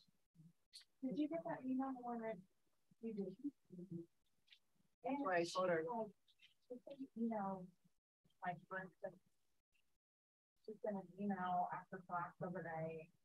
Bring your stethoscope and also bring like a Lysol can and then or like a. Can or something like that, so she always was like sending stuff with. Yeah, I don't get any. of them. Really? Mm-hmm. That's why I told her that. And, um, she'll send like wrap up videos that you can review again. She sends a lot of, them. And um, I told her she's gotta do something, because I haven't done any. I didn't know if I can just join the class online without being invited. I'm to ask her. and then it never logs you out once you hurt. Make you like it. Every time I wanna go back into the course to watch a video or do something, like I'm always logging. See, that's what- I wanna do the videos and the activities. So, yeah, because like all that puzzle stuff that she does on the screen, you can do that on as many times as you want. And that's what I wanna do. Yeah, that's what I was working on this weekend while I was at work. Right. Because I'm already doing home health. Oh, okay, so that's cool. There's a lot of things, so, um, like teaching stuff, like especially with the healthcare. Um, like she was saying, you can't use nail clippers, and I, I knew that. But my experience, one of my patients that I have now, it's so mad if I say I cannot do that, you know. Right. And then tells them, them it's irate. you know, Cause they don't understand that it's not about. even if it's something Right. I'll have to see if I can, I'll ask her after class and it's gonna stay and ask her. If I, if I need an invite, cause I'm missing out on. I know, it's an old email address, I mean, it's pretty ancient, it shows my age, so. What is it? AOL, Bell, bell, Bell South? Mine's on docel.net. I mean, I'm forty, Is it going to your junk mail or? I can't find the junk mail. Do you on Spam. your phone? Yeah, I don't, I can't even find spam, but I'm not getting an email either. I can't find spam email.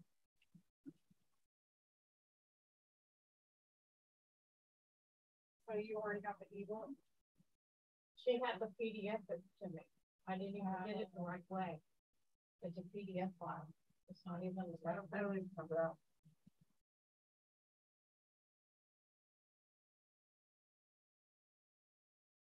Yeah, I don't receive them.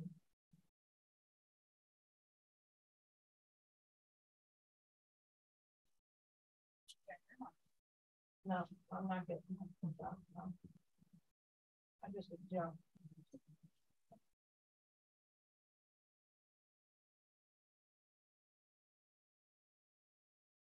But I did finally get into the, uh, the force one. Oh, you did? She, yeah, she helped me with that one. Uh, I got into that one. Did you need an invite for it or you just went in? I got the to ask her. invite. Yeah, I got, finally got that one, but, um, still don't get the other, the flash. I just, me she had an assistant that.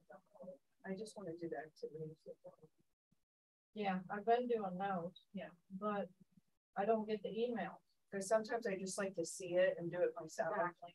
And that's what I've been doing. I learn better that way, Yeah. hands on. I'm, I'm more, yeah, I'm more of a hands on.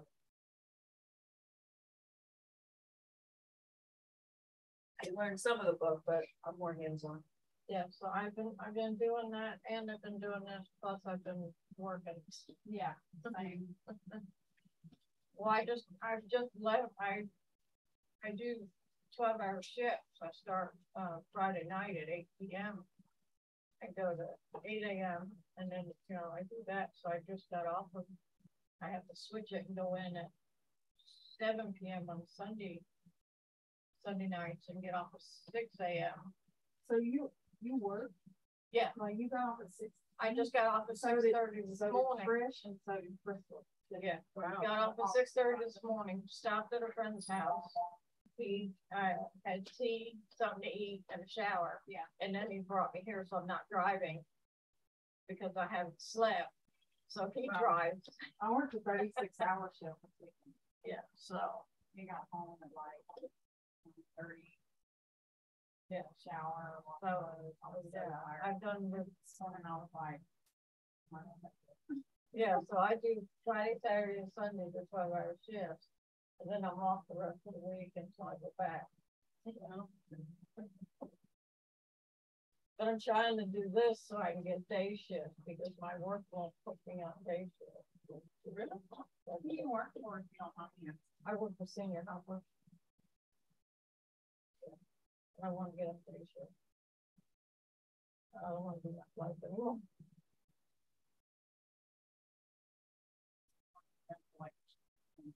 Did you?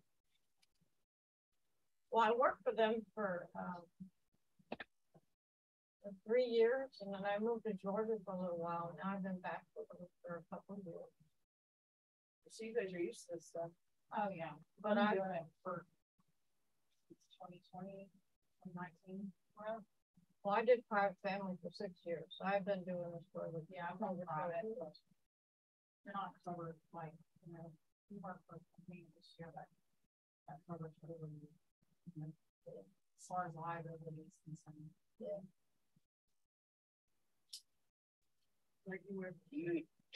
Um, all, all support services, their office in Tampa. They have like, they service different counties. They haven't, they do have a few clients here in Springfield, but not as many as you would brave for. But I, I currently, on the weekends, I currently go west to this, like, the, the, right outside of Tampa, basically Tampa. Right. It's nice with it. Yeah. So I just do one, I do one person. Yeah, it's a, it's like an assisted living place or like an independent living place down there, but I do private for women. And through the company.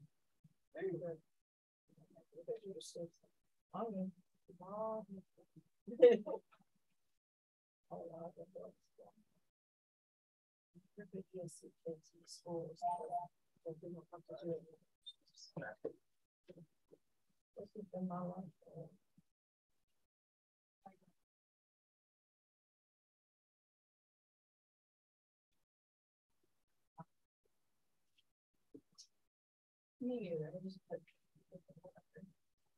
Yeah.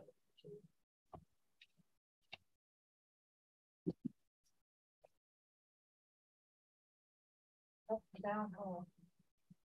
Up, down, home. What? One. We, they have a, my hour for now, they, they have one that's, that's what they. Mm-hmm, that's all we have. Push the button. Push the button. Yeah, I've never used the button. on mine.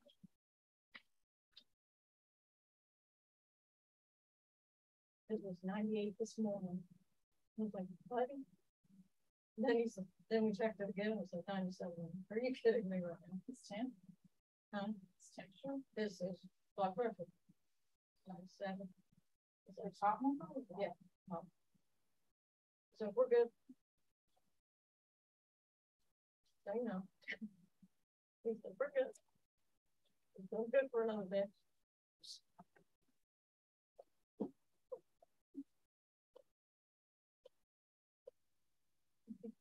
Used those.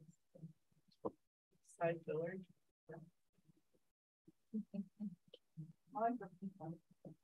I know it's cute, it's not before I was a panic. I used to have a purple one that, that broke. This one, it's so wonderful. This thing is so loud. Can you turn it, and turn it off? No. Mine turns off. Is like, really? Can you turn it, turn it off? The thing, what part? This part? Yeah, the piece. They'll give you a business back for it. Yeah, if you can turn them off. You tap it, put it in your ear, and you can tap it gently and know if it's on or off.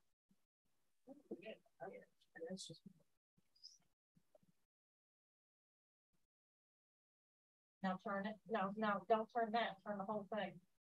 Which one? Turn the whole page. Oh. Now tap it. The other side. yeah. Yeah, okay. Oh.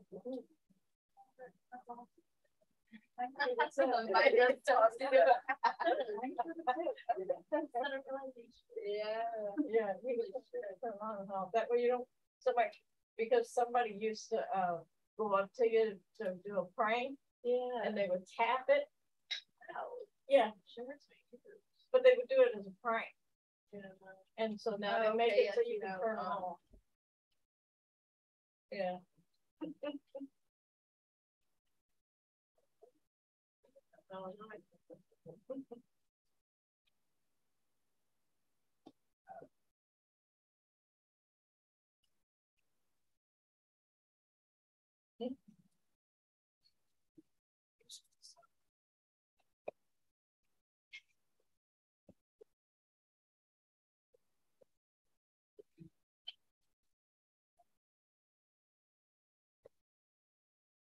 It's cold in here. Feels good. My client keeps his house at eighty degrees. Yep. Oh, my. And, but now you know why. Oh, yeah.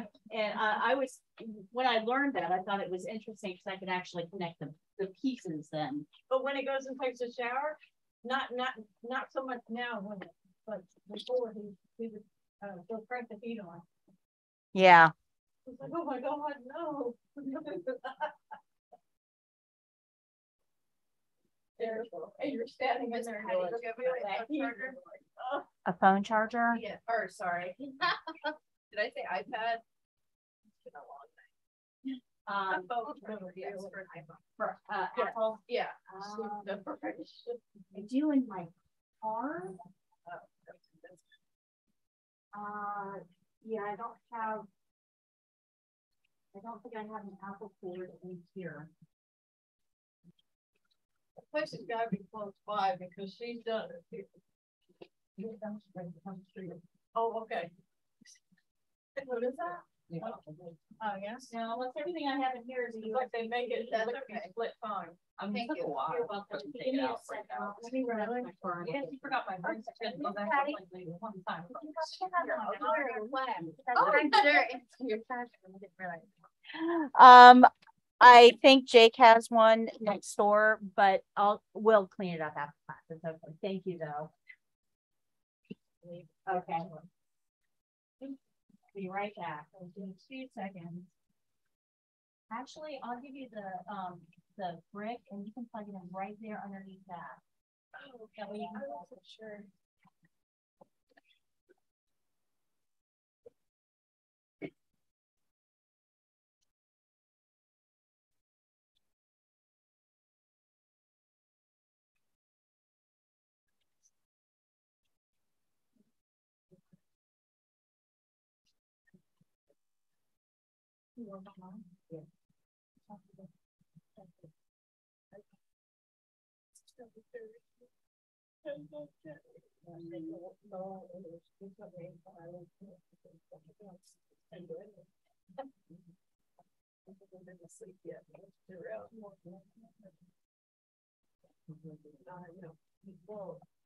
Just got off Sunday.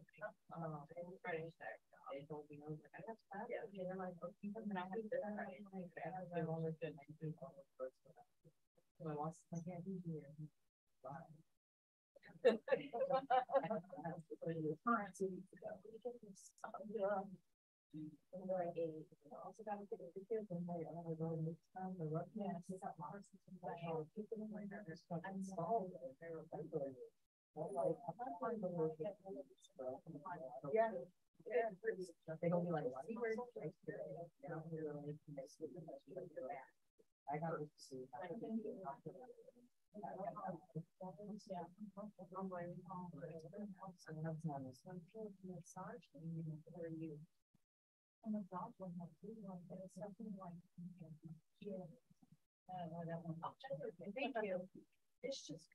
completely dead and I forgot my charger. It's gonna be set that right there. Thank you. No, it's okay. That's okay. And this one off three days ago. It's still, and I put the left. Fall. Okay.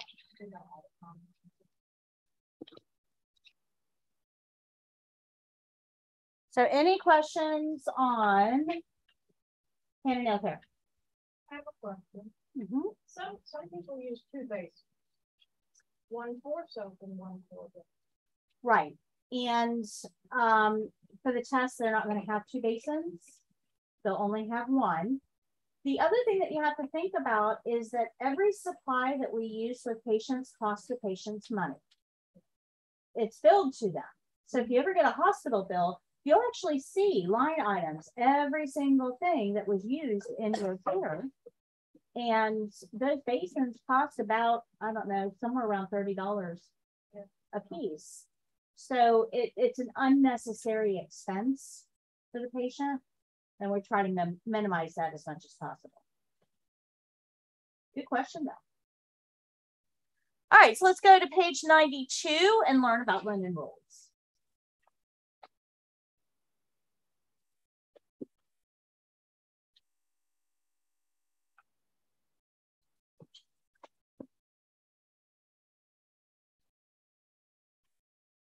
So this is gonna be short and sweet. Again, I do have a video on this you can watch, but I'm just gonna make this really quick and easy.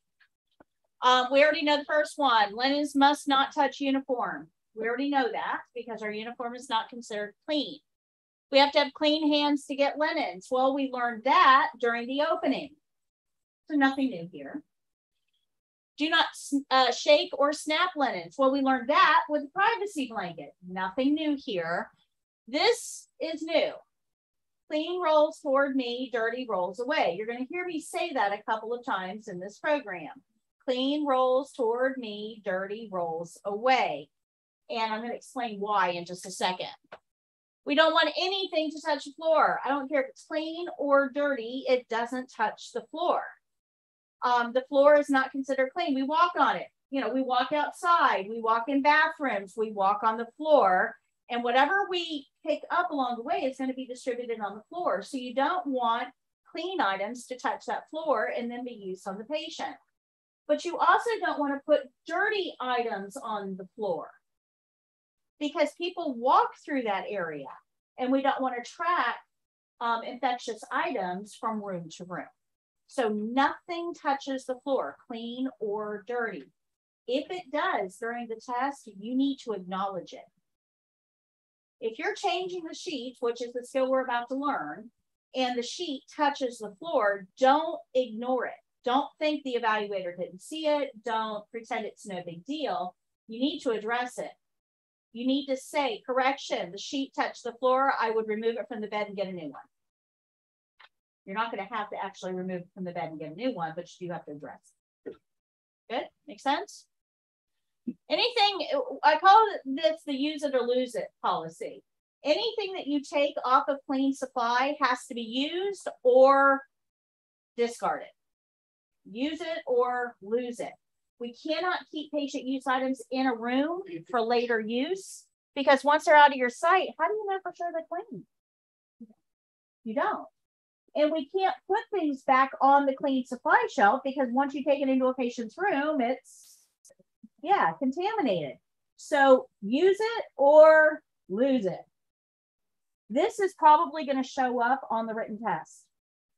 There's usually one question about you took too many washcloths when giving a partial bed bath. What do you do with the remainder of the items? Put them in dirty linen. That's your only option. Okay. Good. Questions? So linen rules pretty pretty easy, but let me explain to you the clean rolls toward me, dirty rolls away thing.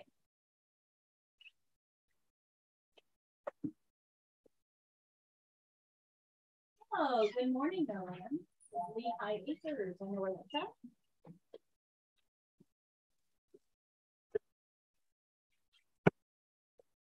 Okay. So when we're changing sheets, let's say we have a dirty sheet and we have a patient laying on that dirty sheet.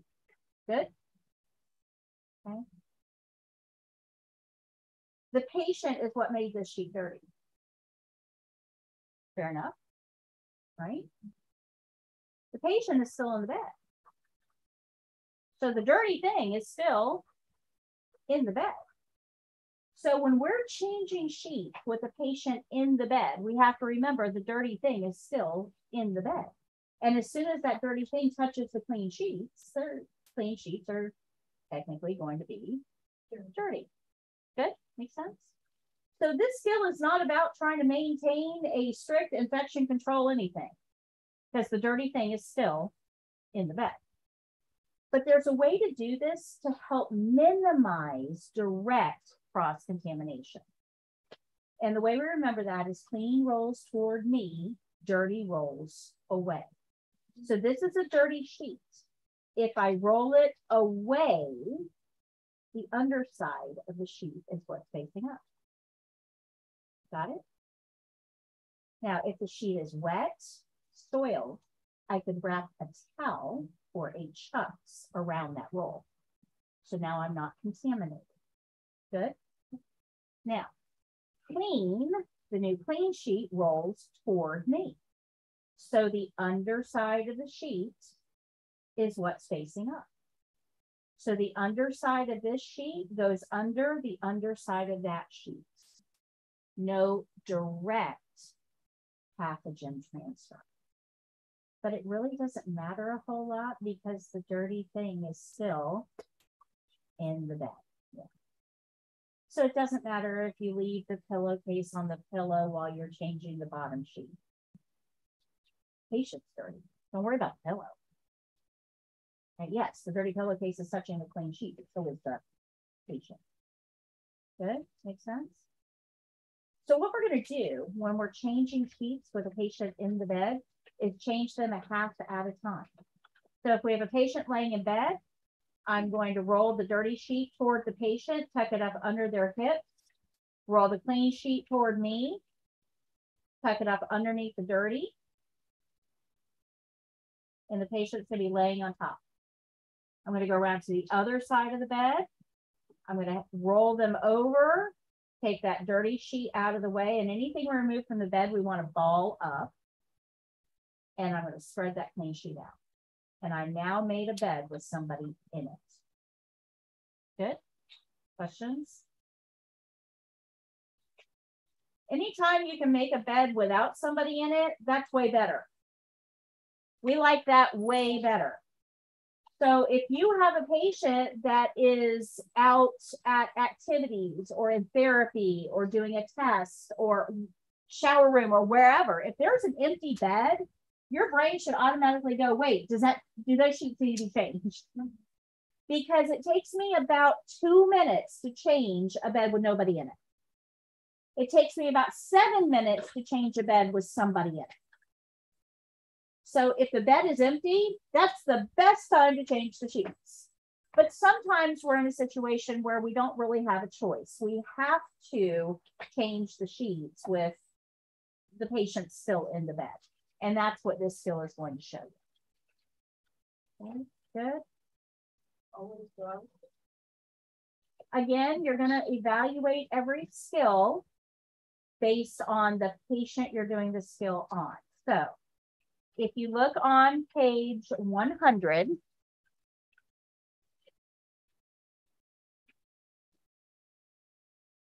and you look at the bottom of the screen or bottom of the um, page, who are we doing this skill on?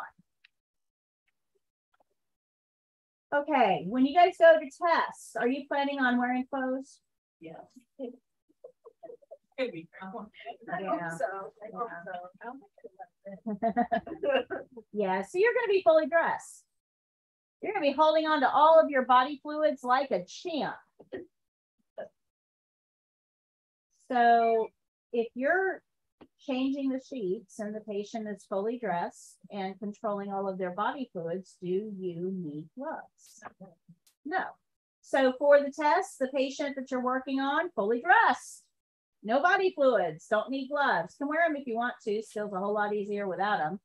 Take the gift they give you guys. In a clinical setting, I know that patients in bed scratch what itches. And those areas probably have touched the sheets. So chances are in a clinical setting, if I'm working on a patient that just has a gown on and not much else, I'm going to wear gloves because I know that dangly bits have touched the sheets. That's a private area. So our private parts will, personal skin will qualify. Good. I know I have a way of describing this stuff that you won't ever forget. All right. So a couple of uh couple of things I want to point out for this particular skill. When you're looking at this, and the this is the my activity book here. So this thing, remember this? Yes. Right. So if you look back here somewhere, somewhere, all out of order right now. But somewhere in here is making, oh, there it is, making an occupied bed, right? So everything that you see on the screen, you can see right here. You guys can play with this if you want to, but I want to point something out. If you look along the side here, you'll see all the principles that we're going to do with this particular skill. So we're going to read the care plan because we do for every skill. You'll notice that this is on every skill. So is the opening because we do that for every skill. So is blood rules because we evaluate that for every skill. And we're usually using a barrier right? So pretty much the first four are kind of a gimme. We always do the closing at the end too. So when you're looking at this, um, kind of the, the first four and the last one is, you kind of know we're going to go there. So the ones in the middle are what's going to change. For this particular skill, we're going to use privacy blanket because we're changing the sheets. That means the patient is uncovered. We don't want to bear patient exposed. So we're going to use privacy blanket. Linen rules are going to apply because clean rolls toward me, dirty rolls away. We don't want anything to touch the floor. Um, you want to make sure that you don't hold the linens against your uniform and you ball them up before you throw them uh, in dirty linen. Good? And roll is a new one. We're going to get into this in a little bit more um, detail next class, but just remember the patient always needs to be in the middle of the bed. That makes sense. Um, and then we're going to get into our, our task specific. So these are all pretty self-explanatory. We, we've gone over them. You know the rules, you know the principles involved, you know these. What we now have to focus on is this skills specific. So what about occupied bed isn't covered in these checkpoints, but is still covered on the test? That's what this is. Good. Questions? Well, we don't want the patient lying on a bare mattress. Well, that just kind of makes sense, doesn't it? You wouldn't want to lay on a bare mattress yourself. It would feel kind of cold, hard plastic, a little icky because who else is laid on this mattress, right? We, we want to avoid that. So we always have to make sure the patient is positioned on a sheet at all times. That's important because some people, when they're doing this still, they'll take the whole bottom sheet off the bed, leave the patient on the mattress, and then put a whole new sheet on the bed. That's not how this should be done. That's why we use the whole clean rolls toward me, dirty rolls away. So we're changing the sheets at the same time.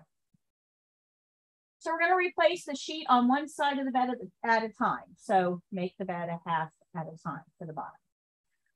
Um, we're going to remove the bottom dirty sheet and secure the clean sheet on the mattress with corners. Guys, the best invention since sliced bread is a fitted sheet because it used to be on on everything was a flat sheet. So you put this flat sheet on the mattress and you had to tuck it and tie it in a way to make it stay. And talk about a nightmare. When I first learned nursing, we were still using flat sheets on the bottom. And within a couple of hours, they would just be a whole big rumpled mess and the patient be laying on the bare mattress. So the best invention, as far as I'm concerned, is fitted sheets. And it helps you so much with this skill. It makes it easy. We want to smooth any wrinkles. Wrinkles lead to bed sores. We'll talk about that in another lesson. Wrinkles lead to bed sores. So we want to try to minimize wrinkles wherever possible. Guys, you're never going to get this perfect. You can't. There's a body in the bed. Wrinkles are automatically going to be part of the equation. But what we don't want is a bird's nest. We want the sheet as stretched and, and uh, taut as we can. Um, we'll replace the top sheet. We are going to have to make hospital corners. It's not as hard as you think. Um, we'll loosen the sheet over the toes because you don't want that sheet to bend the toes down. And um, we're not going to tuck along the sides of the bed. Remember, patients have freedom of movement. If you tuck the sheet all along the side of the bed on both sides, you've mummified that patient and it can cause injury when they're trying to get out. It's, it's a restraint. And sadly, some people use that technique to restrain patients. That's never allowed. So don't tuck the sheets along the side. Don't mummy the patient in. Now, if there's nobody in the bed, if it's an empty bed like that one over there, we'll tuck those sheets all along the side of the mattress. And what that does is it keeps critters from climbing into the bed with our patients. Now, this is a very, very, very, very old technique. Way back when, like World War II. Back then, we didn't have air conditioning in most hospitals. Hospitals were wards big rooms with lots of beds, and they had lots of windows that were open to allow air exchange, which actually was good for infection control. The problem is that when you have open windows, you also get little critters. And to keep those little critters from climbing into bed with our patients, we would tuck the sides of the sheets all along the mattress to make it very, very tight and that kept things from getting into bed. But if there's a patient in the bed, we don't do that. Good. We'll replace the pillowcase. It doesn't matter when you do that. Nobody cares. Just replace the pillowcase. But when you put that pillow back on the bed, you want to face the opening of the pillowcase away from the door, away from the traffic patterns. A lot of people walking up and down that hallway, they are all breathing out germs. You don't want those germs to float on air currents into your setting and be able to get into the pillowcase because the opening is facing that direction. Because patients in bed, they tend to sweat or drool, and then we end up with warm, dark, moist areas under that pillowcase, and your patient can breathe in those pathogens all night. It's always best to have the opening facing away from the door that way, any pathogens land on the surface of the pillowcase exposed to light. remember, they don't like that. Good. Questions? All right, I am going to show you this one because we're short on time. I am going to show you the video for this one. It's got really good close-ups and overhead view of changing that sheet. Normally I do this one live, but let me do the video on this one just for the sake of time. And then we're going to do respirations and then I got to get you started on blood pressure. So we're running low on time. All right.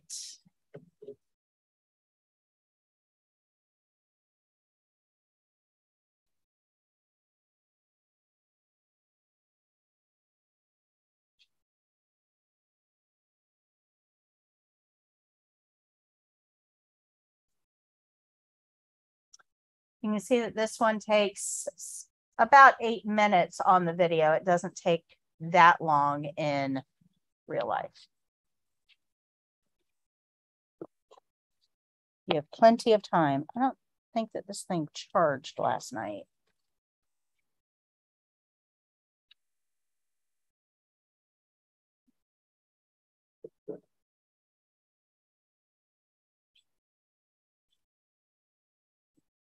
Ah, that's why. Okay.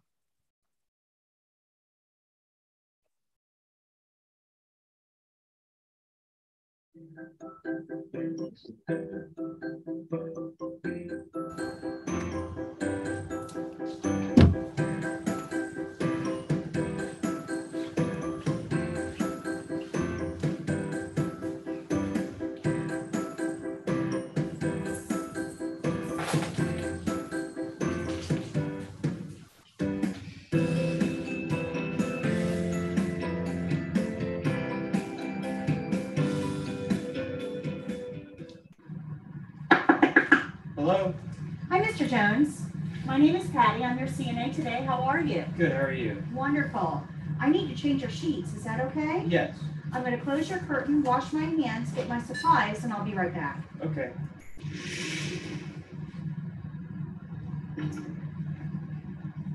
We'll start out with a barrier.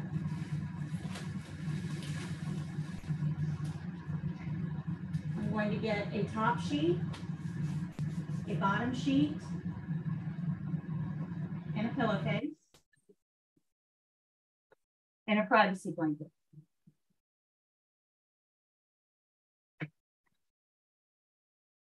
Okay, Mr. Jones, I'm going to place this blanket over you. This will help protect your privacy and keep you warm while we do this skill, okay? Okay. Okay, I'm going to spread this out. Can you hold that blanket in place? Yes. And I'm going to remove the sheet from the bed.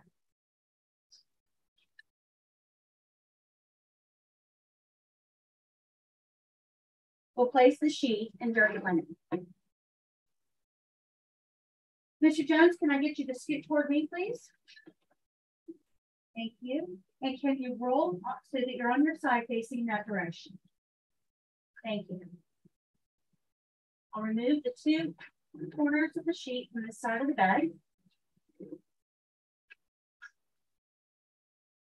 And I'm going to roll the soiled sheet in toward the patient. I'm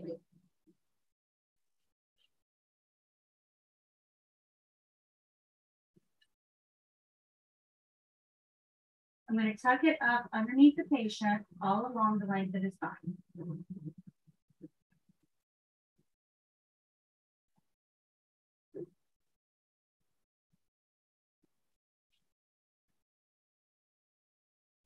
Now I'll take the clean sheet, unfold it,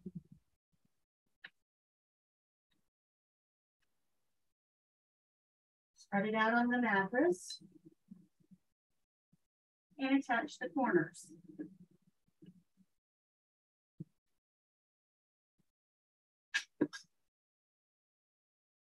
Now I'll roll the clean sheet toward me. We'll roll it so that it's tight with no wrinkles as we tuck it under the soil sheet.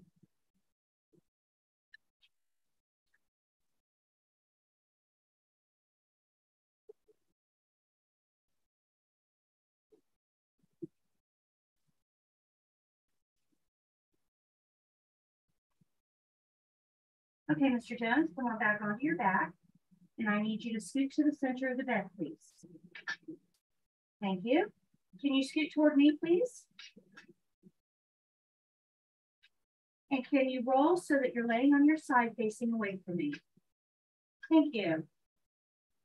I'll now remove the sheet from the bed that was soiled, wrapping it into a ball.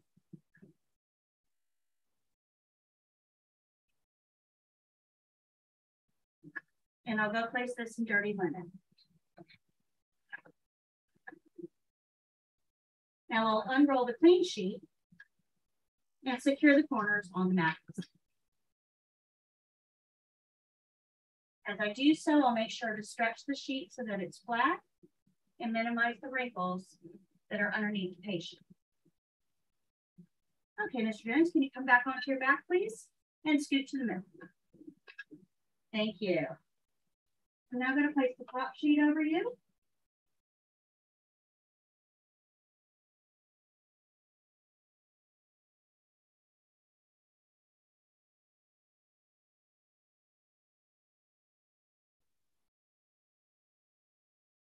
And I'll remove that back blanket now.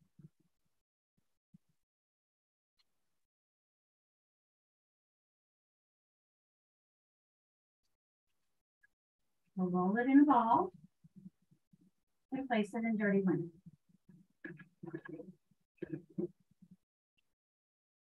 Now I'm going to secure the sheet.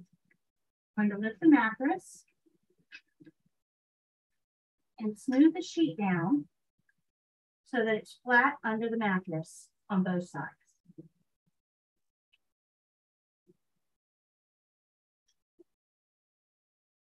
Now we'll make hospital corners by lifting the top edge of the sheet about a foot from the end of the mattress, straight up. It'll form a triangle. Everything else will get tucked underneath. I'll repeat that on this side.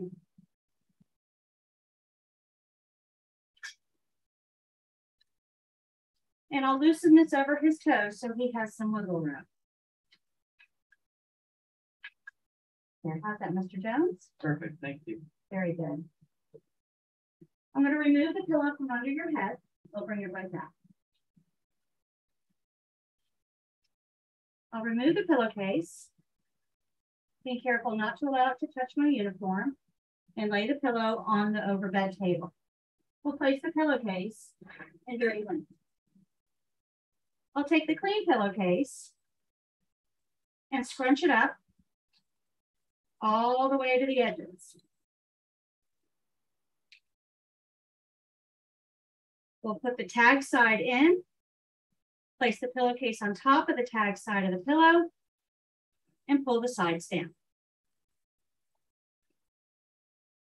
I'll now place the pillow under his head with the opening facing away from the door. How is that, Mr. Jones? Perfect, thank Are you. you comfortable? Yes, ma'am. Here's your call light. If you should need anything at all, please don't hesitate to call. Can I get you something like a magazine? No, thank you. Okay, I'm going to open your curtain and wash my hands. The barrier will be thrown away.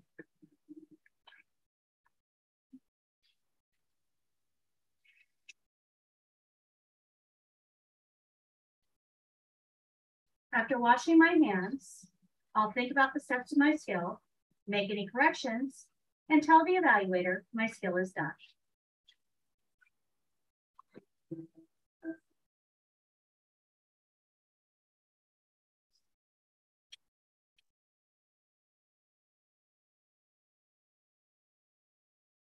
Okay, questions? Please notice for that particular skill, um, everything that I took off of the bed went directly into dirty linen. And there was a dirty linen hamper right at the end of the bed. You will have that for the state exam. They will either have a small hamper at the end of the bed, like what was in the video, or they'll have something like this, which is an industrial hamper. Either way, you're going to put the linens off the bed and into the hamper. Don't put them on the floor.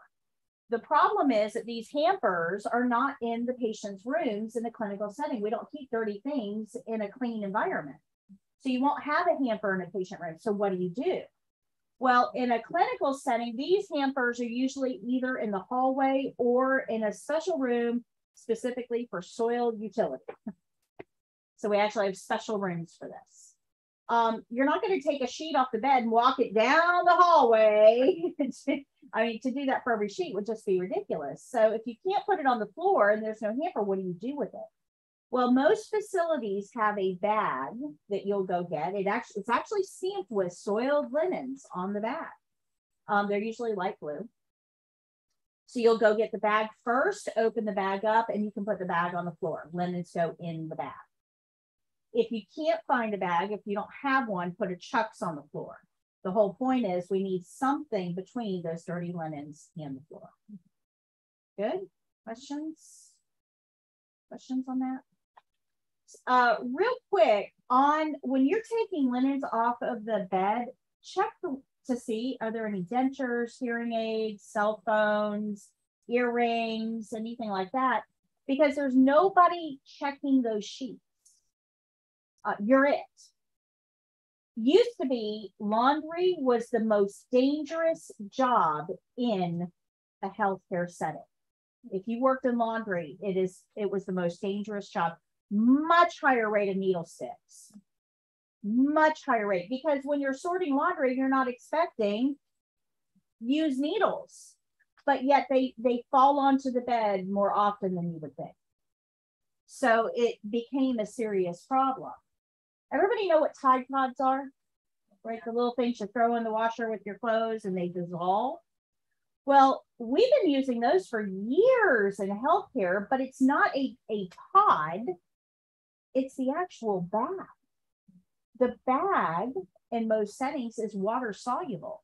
So when you take linens, put them in the bag, and the bag goes to laundry, that whole bag goes right into the washing machine, the whole thing. Yeah. And it dissolves and that becomes the soap. Oh, the bag? Yeah, the bag. Yeah. Cool. So not not all places utilize that system, but the point is, if there's a hearing aid in those linens, and it goes straight into the washer, what's going to happen to that hearing aid? yeah, it's ruined, and the facility would have to reimburse the patient. There goes your rates. Good, make sense? Questions? Moving on. Let's go to page 37.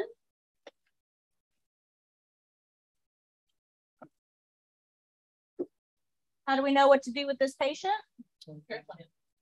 Yeah, let's read the care plan. Care plan says patient will be lying in bed for the skill. Count the patient's respirations for one full minute and record your readings. How long are we counting for? One minute. Okay, respirations is breathing. That's all we're doing, guys. We are counting somebody's breathing. They are laying down, which makes this way easier because you can watch the tummy go up and down and count the breathing.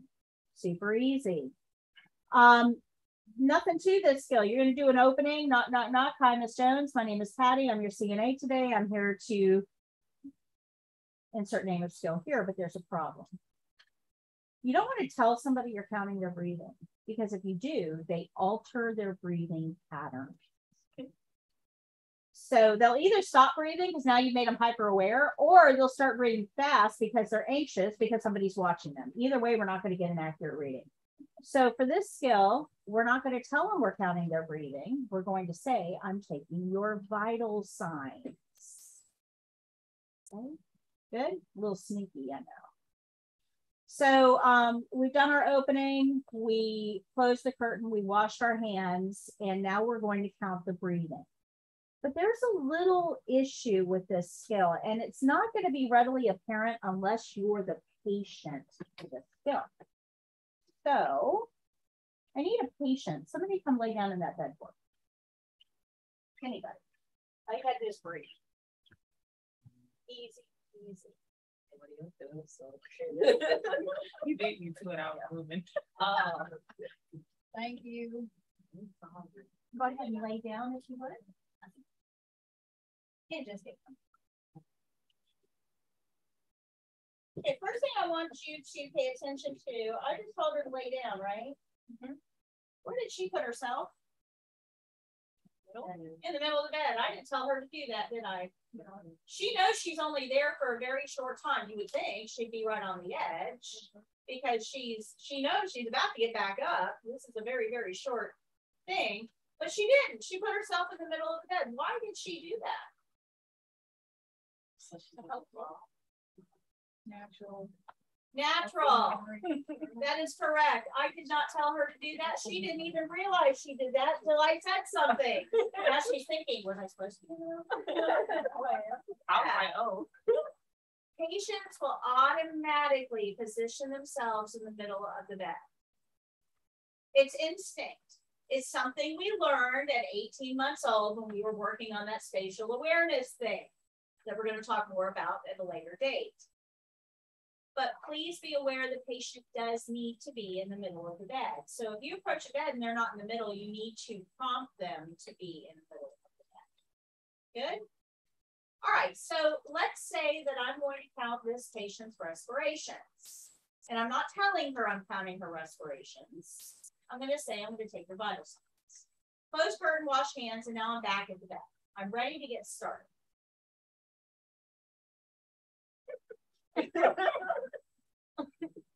How comfortable are you right now? Oh, you so you started looking at me. this is like a little creepy. What are you doing, dude?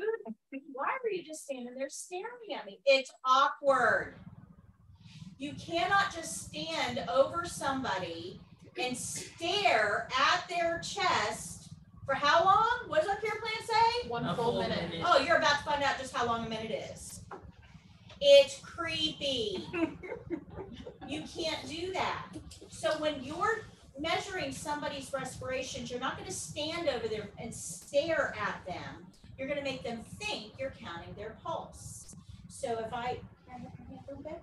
if I just hold her hand like this, now I'm, I don't have her pulse. I'm literally holding her hand. Doesn't that make you feel more comfortable? Hmm. Isn't that weird? You can't just stare at your patient. It's going to ramp up the anxiety. What do you think that's going to do to their breathing? Yeah, it, it absolutely it elevates respiratory rate. So normal here is between 12 and 20. In and out counts as one. It doesn't matter whether you start on the in, whether you start in the middle, or whether you're counting on the exhale, the whole thing counts as one. So when you're counting respirations, if you're starting on an exhale, you still count it. The whole thing counts as one. So we're going to count how many respiratory cycles in and out the patient breathes in that entire minute time frame. But be careful because your brain is hardwired to pay attention to what it sees first, hears, and then feels. And the problem is that if we're counting the breathing and we're staring at that clock, we're not really counting the breathing. So you're going to look at the clock, you're going to pick a starting point, you're going to say start out loud. You're going to count the respirations for a full minute. You're just going to glance up every so often to see where we're at. A little more often when we get closer to the end of the minute. And then you're going to say stop out loud. But there's something you can do to make this a little bit easier. You put your arms at your spine script and just if you look at her, if we're going to count her breathing and you look at her, you can probably see her tummy going up and down a little bit. You guys see that? Mm-hmm. It's kind of hard to make out though. Kind of hard to see. See if I can help you just a little bit. Just keep breathing.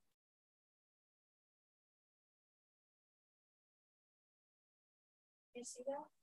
I did not alter her breathing. I altered your ability to see it. I use psychology. That's what I use is psychology.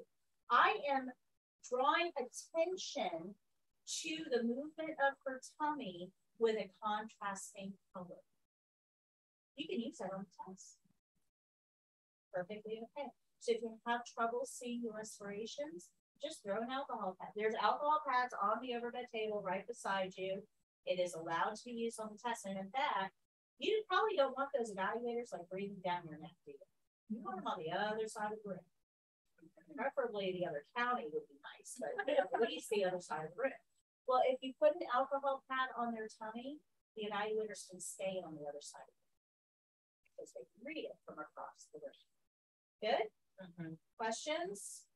All right, I'm going to do this whole skill for you from beginning to end. I'm going to do my opening. I'm going to wash my hands. I'm going to count the respirations. I'm going to do my closing. I'm going to wash my hands. I'm going to document. I'm going to wash my hands again. I'm going to do the whole thing, right?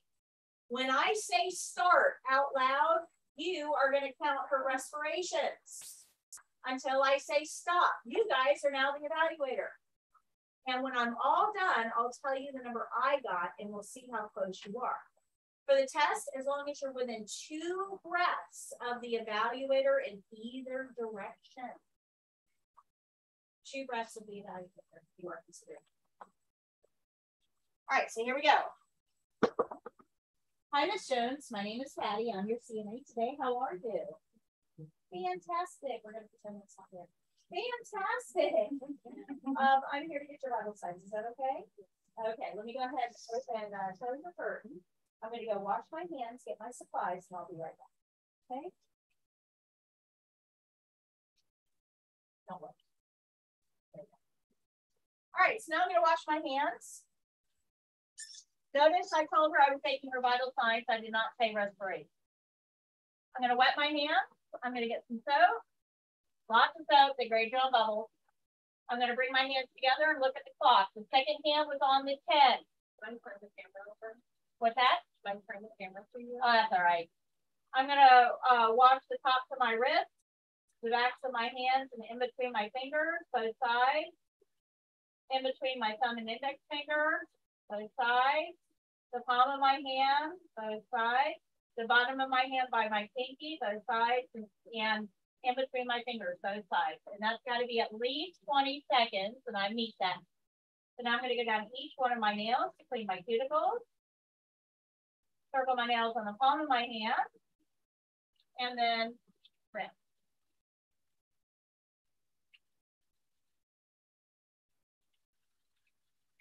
I'm going to tap, keep the water in the sink, not spread it around my environment. I'm going to get some paper towels to dry, but I only want to dry what's clean.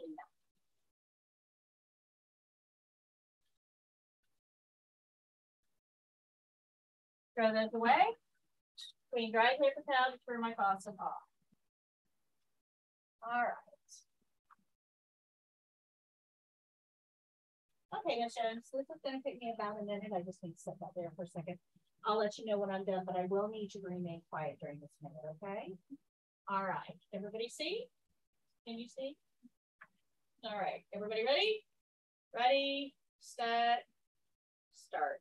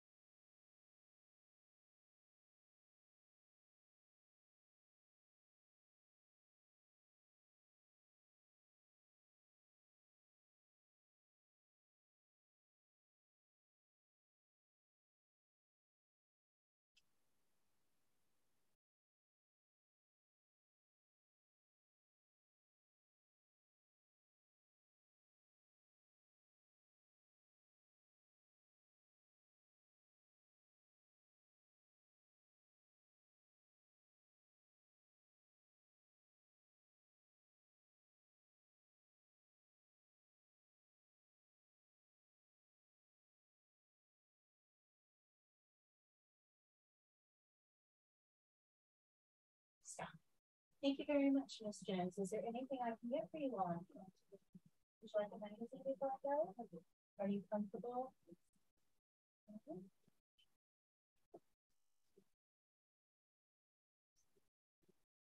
Call Right, there we go.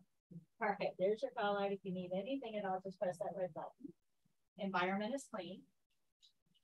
I'm going to come over here, open the closet and go wash my hands. So while I'm over here, I should be thinking about the steps of my skill. So um, you guys all open to 37? Yes. You see that gray box? Somebody read step one on the gray box. Opening and locking him. Did I do that? Yeah. Somebody read step two. Oh, that's right, that's how we're. Did I do that? Yeah. Step three? Closing. Did I do that? Yeah. Okay, I haven't done step four yet. No. Okay, so I'm still washing my hands. How long should I be washing for? 11, 20 seconds. At least 20 seconds of scrubbing and then move on to my, my nails. So that's what I should be doing while I'm over here washing my hands is thinking about the steps of my skill. And I should be using that gray box. So memorizing the gray boxes are a good thing. They're on the flashcard. So I should be thinking about the steps of my skill. And if I realize that I made a mistake somewhere along the line, I could right now tell the evaluator correction I would have, and then correcting whatever my mistake was. But once I'm done,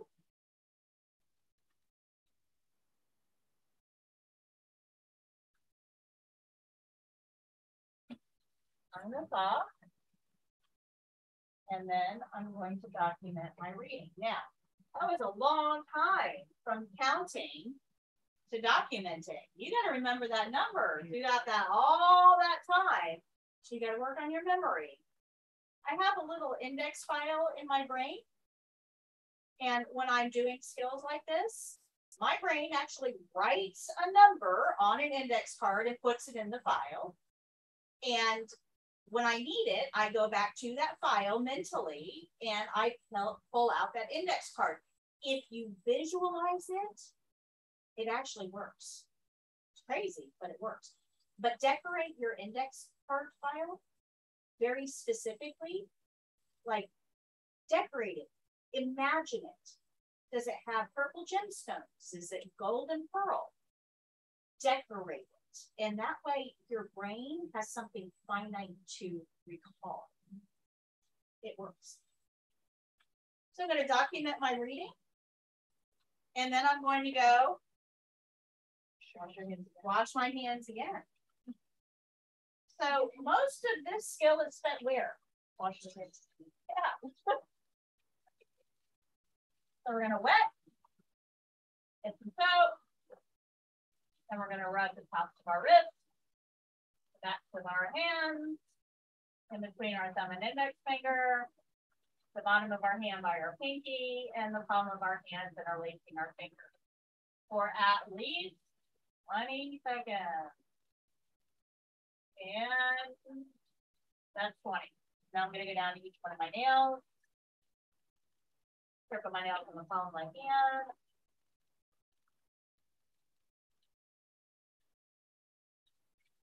Got this smelling so. Yeah. Cap.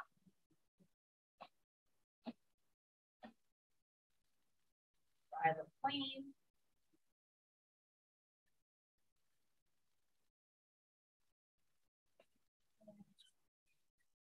We'll turn that off. Now I can tell the evaluator my skill is done. Thank you. Not too bad, right? Not too bad.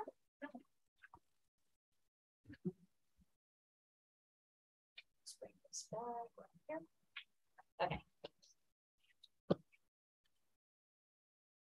So I got 15. What'd you guys get? 15, 16? Okay. If you got 13, 14, 15, 16, or 17, you are considered accurate. It's a big margin of error. Huge. Remember, normal is between 12 and 20. They're giving you half of that as your margin of error. So plenty of room for wiggles. Questions? Questions?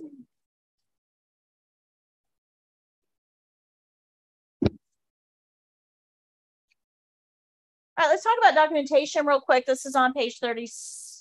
Actually 36. 36.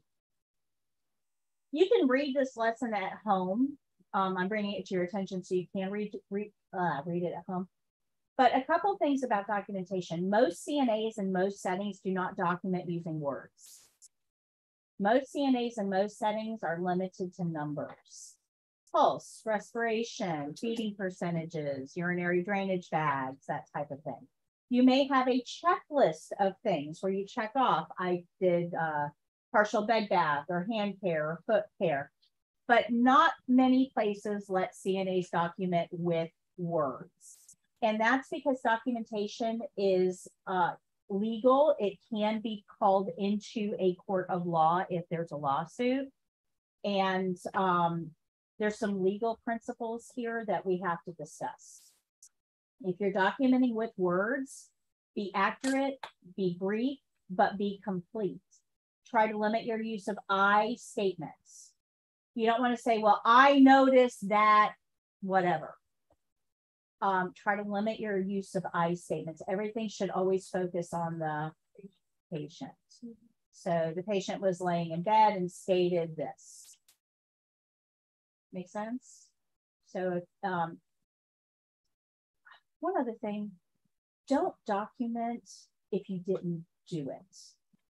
So you have to document at the time you do things and don't pre-document. We had I was a hospice case manager for five years. We had a CNA at the bedside of a dying patient, round the clock care.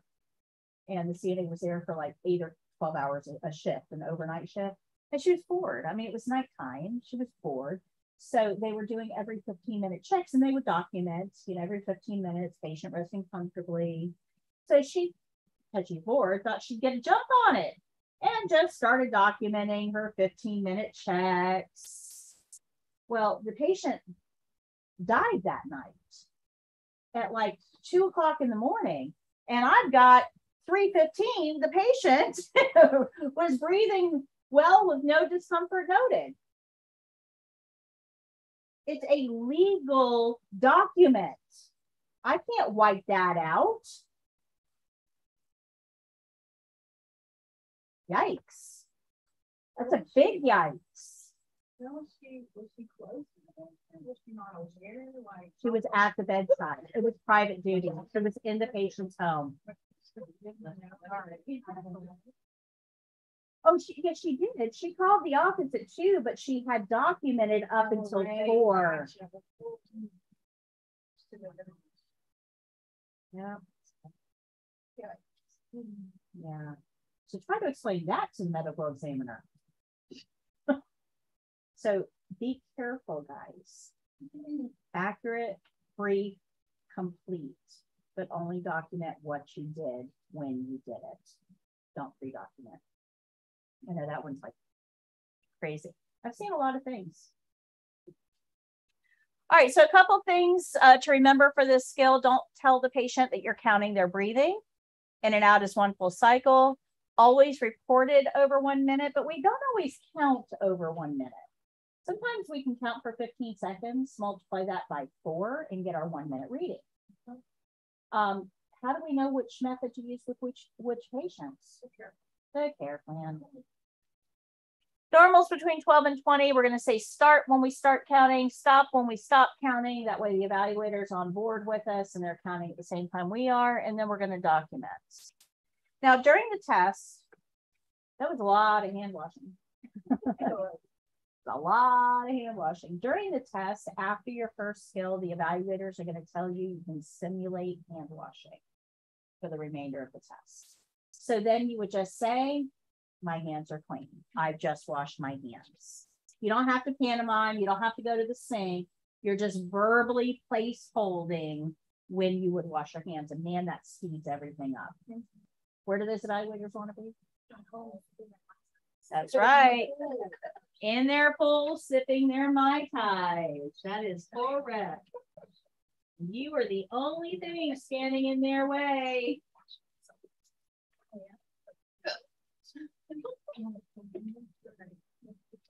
All right, go to page 38.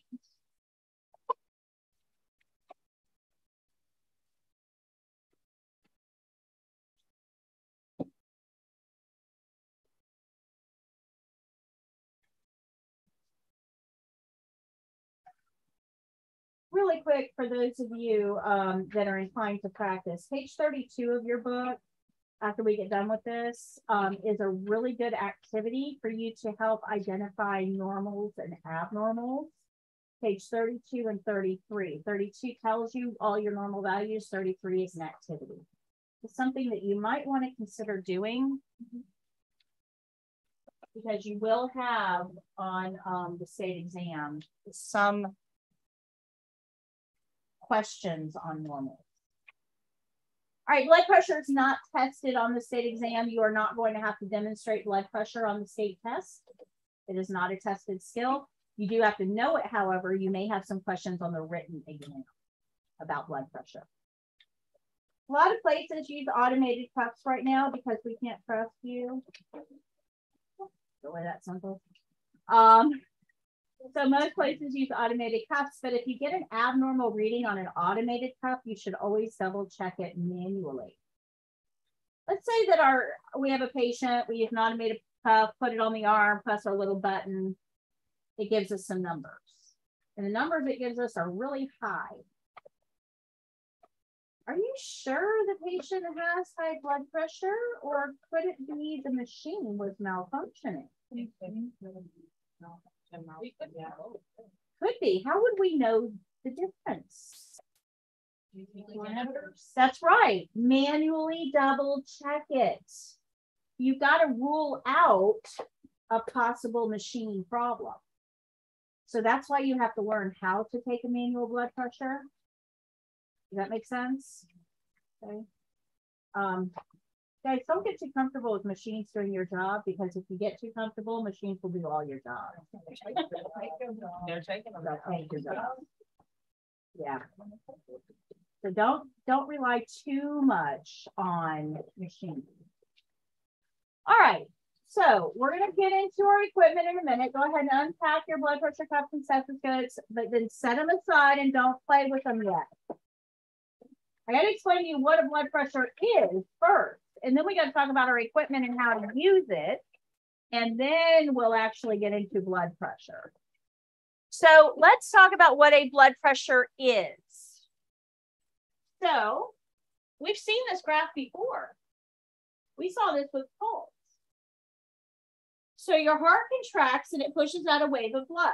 That wave pushes the one in front of it. That one pushes the one in front of it, and so on. This is how blood moves through your circulatory system. When we counted pulse, we put our fingers and pressed down on that artery and felt these lumps going through. Counted them, and it told us how many times a heartbeat. That was pulse. Blood pressure, same artery, same heart, same waves. But now what we want to do, we, we don't care about counting them. That's what we have the pulse for.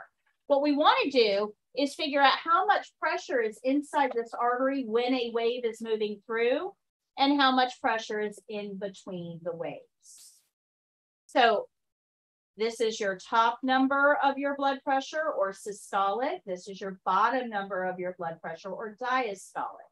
So let me put this in terms you can understand because that was way too scientific. You have a hose on a garden spigot outside, a faucet. And you go out to that faucet and you turn it all the way up. Water goes through the hose. The hose expands, gets hard, Lots of pressure inside, water pressure, right? Turn that hose all the way off. The water drains out. The hose gets squishier, less pressure inside. Make sense? It's got to have some pressure inside, otherwise it would just flatten down like pancake, right? So the actual surface of the hose helps, it is somewhat rigid to help keep its shape. Make sense? Okay. So that's what your heart does. Your heart is standing at the faucet and it's just going on, off, on, off, on, off, on, off, about 70 times a minute. On, off, on, off. What I want to know is how much pressure is inside that hose when the water's on, how much pressure is inside the hose when the water's off. And we're going to use a gauge to help us find that out. Good. You guys understand a little bit about this? Now, we're in Florida, hot Florida sun. If we take that hose, we put it outside in the blistering sunlight for 10 years, turn that water on full force for 10 years, and water is always going through this, this hose at full force. Sun is beating down on it, lots of stress at full force for 10 years. What do you think's going to happen to that hose? That's right. In the body, we call that an aneurysm if it happens in the body, or a stroke when it happens in the brain. If you have consistently high pressure inside the artery and you have external stress forces, you are at risk for a stroke or an aneurysm. So our goal is to find a problem before it becomes a problem. We go around and check blood pressures. You got high blood pressure? You got high? You you you you know you do. All right, I can report that to the nurse. What we're trying to do is find a problem that the nurse can solve before it becomes a big problem. So remember I said uh, nurses are looking for real and potential problems. Yeah. This falls firmly in the camp of potential problems that we're trying to prevent. So CNAs aren't, remember CNAs do normal? You guys remember that? Yes. Right. So CNAs aren't taking blood pressures, super high blood pressures on super sick patients. That's not what we do. We do normal. We are on an Easter egg hunt trying to find some high blood pressures to report. So because of that, we are only going to inflate this cup to about 160, 180. If you go up over 200, that hurts. Do you know what effect pain has on blood pressure? What does pain make blood pressure do? It goes up, right? We're trying to find high blood pressure, but did we really find high blood pressure if we because high blood pressure? No. So we have to be careful here. So we, we don't want to go over 180. 180 is a good stopping point for us. Make sense? So I saw a really cute cartoon and I meant to put it in this presentation. I was flipping through um, one, social media the other day. Can't remember which one. This really cute cartoon and it's got a, a guy in like Dr. Scrubs and he's taking blood pressure, right? And the cup is squeezing the guy's arm so hard and the guy's got this huge look of pain on his face and the arm is like black. Mm-hmm. And the doctor says, yeah, we'll, we'll look into what's going on with your arm after we take your blood pressure. Well, the blood pressure is what's causing what's going on with the arm. And unfortunately, we do that in healthcare a lot. We cause a problem that wasn't a problem before we caused the problem. and then we focus on the problem. It's not really a problem. So we have to be careful not to use this really circular type of logic, right? So 180 is as high as we go. Now, if the patient has high blood pressure over 180, and I'm going to explain how we learned that in a minute, um, then we just go to the nurse and say, hey, the blood pressure is over 180. We don't need a number. Over 180, bad. Doesn't matter whether it's a little bad, a lot bad, it's all bad. So we're going to go find a nurse and say, hey, high blood pressure. And the nurse is going to recheck it because they can't trust your readings. I'm not picking up a phone and calling a doctor at 3 a.m. to tell him blood pressure is 180 over 110. And he's going to say, Are you sure? Did you check it? And if I say no, that doctor's going to hang up on me. So you don't need a specific number. You don't need to take the blood pressure over and over and over again until you get it dialed in and know exactly what it is. Nobody cares. High is high. Make sense? Mm-hmm. Now, the problem is if you take the blood pressure too many times, it's going to elevate each time you take it. It gets higher and higher. That's because pain raises blood pressure and you're squeezing the heck out of this arm and it's going to respond by freaking out. and that's going to raise the blood pressure. So twice on one arm and then move to the next arm. If you can't get the blood pressure, move to another patient and let the nurse know. Twice on one arm, move to the next arm, move to the next patient. You're not going to get every blood pressure you try for. There's some blood pressures I can't hear. And I got decent hearing, honed over years of practice. But there are some blood pressures I just can't really pick up all that well. You will have some in your career as well. The worst thing to do is fake it. If you can't get it, you can't get it. It's fine. Let's go find somebody else that maybe has a little bit better set of listeners.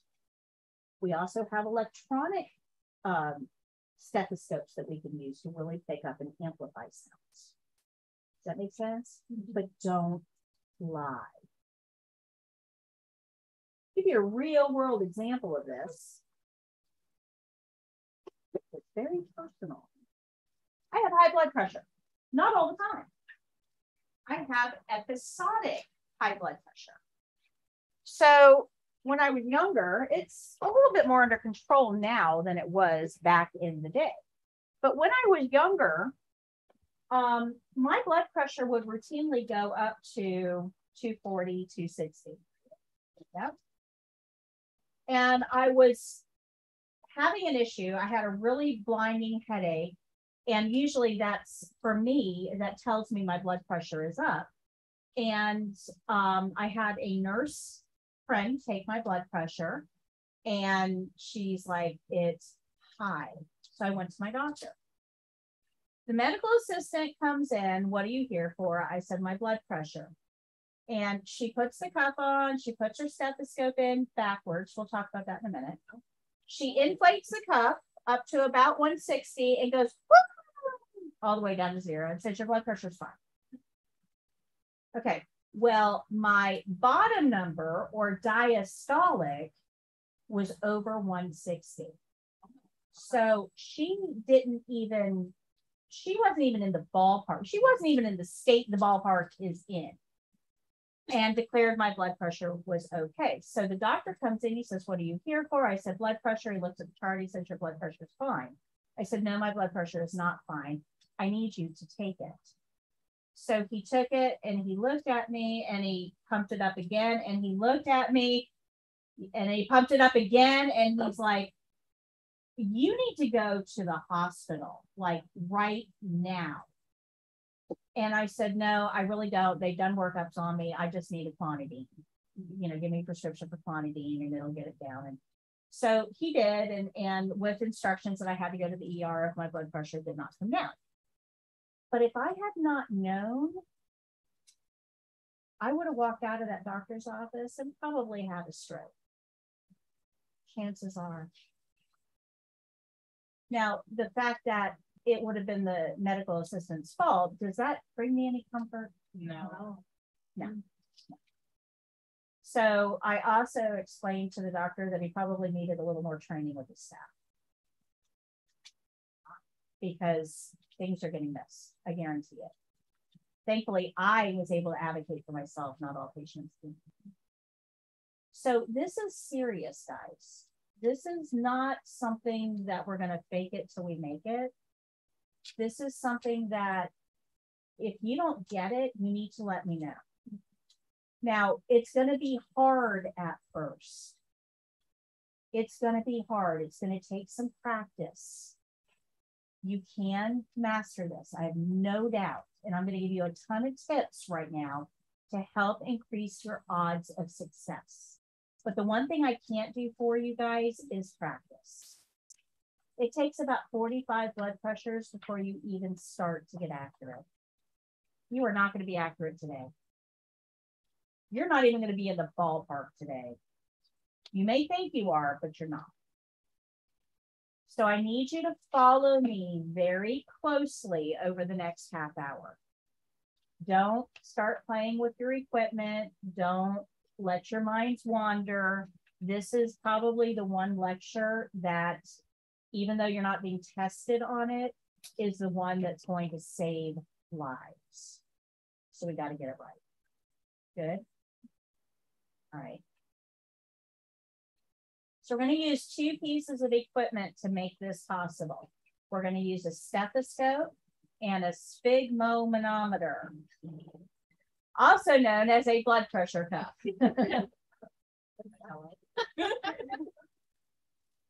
In a clinical setting, you may hear it uh, described as a sphygmomanometer. So you need to be aware that that word exists. In nursing school, I had to be able to spell the word. That was a grade. Um, so yes, but it's um, what that is is the gauge. We call it the blood pressure cuff, but the sphygmomanometer is actually the gauge. It's the thing that's going to tell us how much pressure is inside the arteries during a wave and in between waves. So let me explain to you how this works. It's actually remarkably simple. So we take this cuff and we put it on the arm and we secure it so it's snug around the arm. Mm -hmm. And then we add air and the air fills up the cuff and it pushes in on the arm. And when you compress the arm, we're compressing everything inside the arm too, which is the arteries and the veins. Now, in this case, the artery is the one that we're worried with, okay? So we're compressing that artery, and just like a straw, if you compress a straw, like if you take your straw and pinch it, it's not gonna let anything through, right? That's what we're doing here. We're putting the cuff on, we're inflating the cuff, it's pressing in, and we're closing off that artery, just like this. Then we let the air out slowly. And as the air slowly gets let out, that artery starts to open a little more, a little more, a little more, a little more, a little more. And eventually it's open enough that a wave can push its way through. There's enough pressure inside the wave to push its way through. And when it does, because the artery is still small, it hits the top of the artery and it makes a. What we're listening to is a wave of blood hitting the top of the artery. That's what makes the thump sound. Now, as the cuff continues to deflate and the artery gets bigger and bigger, more waves go through. Thump, thump, thump, thump, because they're all hitting the top of the artery. Thump, thump, thump, but they start to decrease in sound because they're not hitting the top of the artery as hard. Make sense? Mm-hmm. Good. So when we're taking a blood pressure, I'm just going to kind of cut to the chase here. When we're taking a blood pressure, we close off that artery. We're not going to hear anything because our straw is crimped. So as that needle comes down, it's quiet. It's quiet. It's so quiet still quiet, quiet, quiet, quiet, quiet. And your brain is going to start freaking out. I'm not hearing anything. Am I doing this right? Did I miss it? What is happening? Nothing happening. Show hasn't started yet. Don't give up. Quiet, quiet, quiet, thump where the needle is, the number that that needle is pointing to when you hear your first thump is your top number of your blood pressure. That was the first wave that was able to make it through and hit the top of the artery. The needle's going to show us how much pressure is inside the artery at that moment. Well, one wave was able to get through, so other waves will also get through thunk, thunk, thunk, thunk, thunk, thunk, and we're letting the air out so then the artery's getting bigger, thunk, thunk, thunk, thunk, and they're going to get softer, thunk. Then you're going to stop hearing thumps. The number that the needle is pointing to when you hear the last clear thump is your problem number.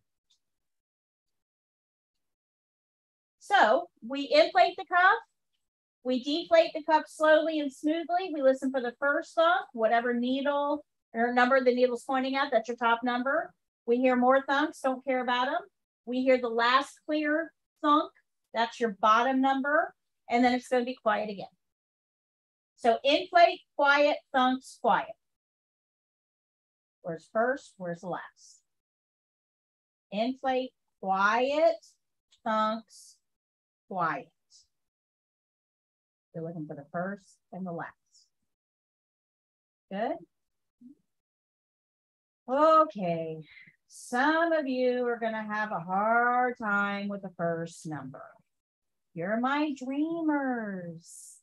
If you have a brain that goes out and picks daisies when it gets quiet, you're going to have a hard time with this. So we inflate up to 180 and the needle starts to come down and it's quiet, quiet, quiet. Oh, I'm hungry. I wonder what I should thunk, heifer, thump, lunch, thump. Maybe thump, taco, thump, bell, thump. Oh crap, where was the first one? You're my dreamers. If you know that you're going to have a problem there, you can start working on strategies to help you pay attention. Now, on the other hand, I have my dancers. My dancers are rhythm people. Now, a heart is a very rhythmical organ. It gives us a rhythmical beat, right? And yeah, let the beat drop, right? we hear this beat, and we start getting into the rhythm of it to the point that we will actually fill in beats that aren't there. Oh, no. Mm-hmm. Right. so you may have trouble with the bottom number, or you could be like me and have trouble on both. Man, I am a dreamer and a dancer, Right, and learning blood pressure was hard for me.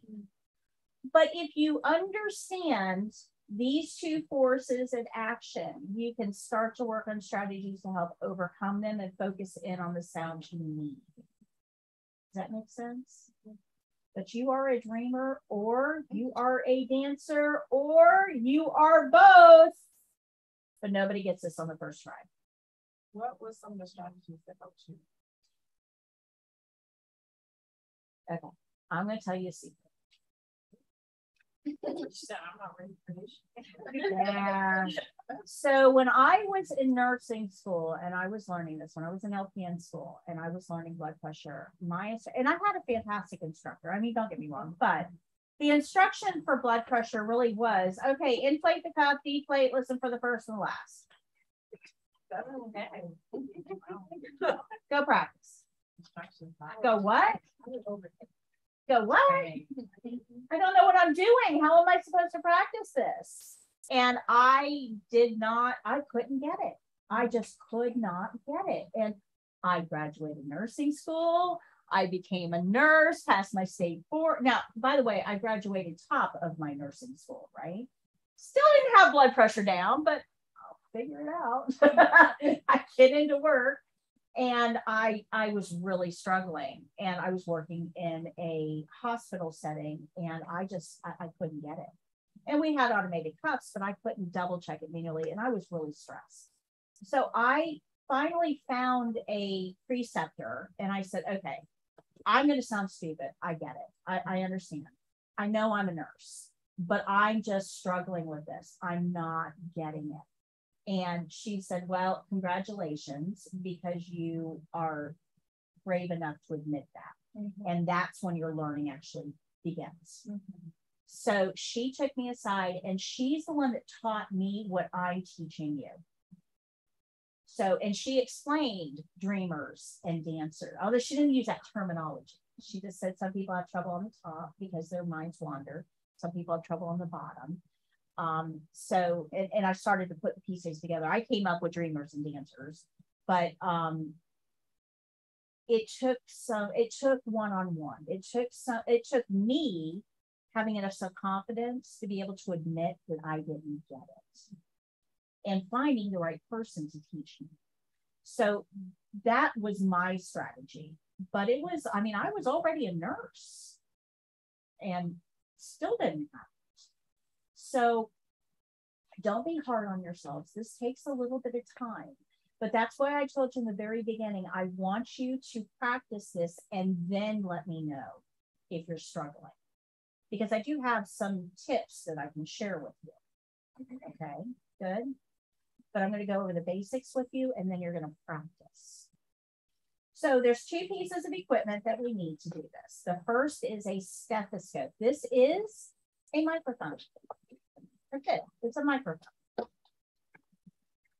So this end of your microphone, for those of you who have a double tube stethoscope that looks like mine, I'm going to talk to you first. Single tubes, I'll talk to you in a minute. So if you have a double tube like mine, this head of the stethoscope, there's two sides to it. This is a diaphragm. This is a bell. You don't need to know that, but that's their names. Only one side is on at any given time you have to tell the stethoscope which side you want to listen to. Remember, it's a microphone, but we don't want to amplify everything out here. We only want to amplify what's inside the body. So only one side of this works. This whole thing, you see this whole head? Mm -hmm. It turns. It turns. So down here is a flat bar, probably with a little dot on it that flat bar tells you which side is on. You want your large diaphragm to be facing the direction of that flat bar. So if you try to listen through this side now, you're not going to hear anything. We're telling the stethoscope, this is the side we need. Guys, we're listening to a wave of blood hitting the top of an artery, buried under muscle, fat, and tissue. You need a big microphone. Don't use a little guy. This isn't going to cut it. You need a big microphone for this. Okay. So these double tubes, your whole head of the stethoscope turns. Make sure the large diaphragm is facing the same direction as your flat bar. Now I bring this up because you're probably going to bundle this up when you're done today and shove it in a bag of some sort. And this little sucker will flip around on you and you'll take it out tonight. Try to practice on somebody at home and you can't hear a thing. Nothing. Stethoscope is dead take a look, make sure that your stethoscope is on before you start to freak out. Okay. Believe it or not, oh, hold on. That was double tube. I need to come talk to you single tube people. All right, so let me go around the room. Your, you have a dot. See your dot? This whole thing turns, just like this double tube. That's your dot. So you want your, your large diaphragm to be facing your dot. Now, Notice how easy that thing is. Really easy. So here it may flip around on you. You have, you have a dot. You should have a dot. Good. Okay, you got a double tube. You sh you don't have a dot. No. So these are a bit trickier. You have to, sorry, you have to look through here. Now I want you to look through that hole and look at the changes. You see, see there? You see all the way through? Yeah. See it? Got darker. So this, you can actually see all the way through it. And then this one, there's a thing blocked. Okay. So when it's here, you're amplifying this. Here,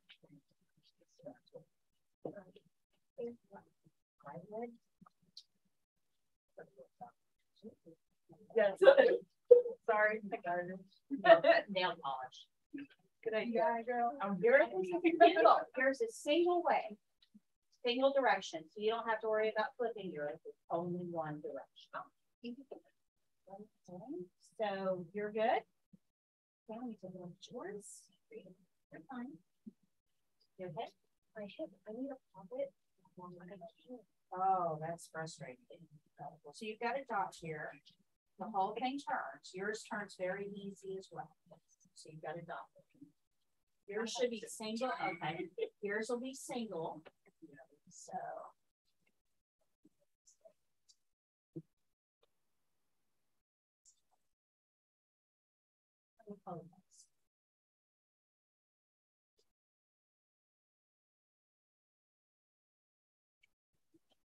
Okay, yours is different. You have a Littmann. Yours is single, so you don't have to adjust yours. Littmann is similar to hers. So if you lift your here, here's Paul. Lift it out. And then if I turn this, see how it changes? Now you can have a seat in to the right? That means that this side is being amplified. To this. One is very hard to turn. So it's not gonna flip over on you by accident, but um, it may be difficult for you to turn and you may kind of struggle with that. All right, so as important as that section is, it's not nearly as important as this part is. Ear tips um, have to be adjusted and then put in the right way. So yours are already preset. Yours are already preset. Do you see how, can you hold yours kind of up? See how hers kind of curve?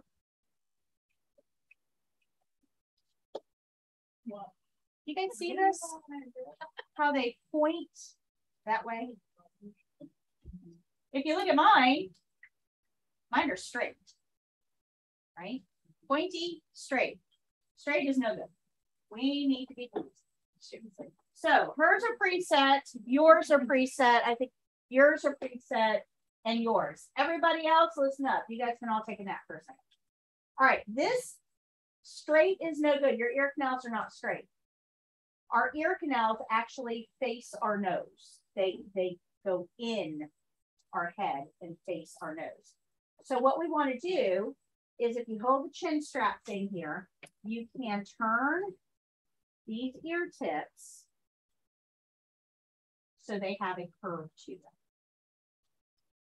Like that? Yeah, yours are already preset. Oh. You're good. Wait, there. Yeah.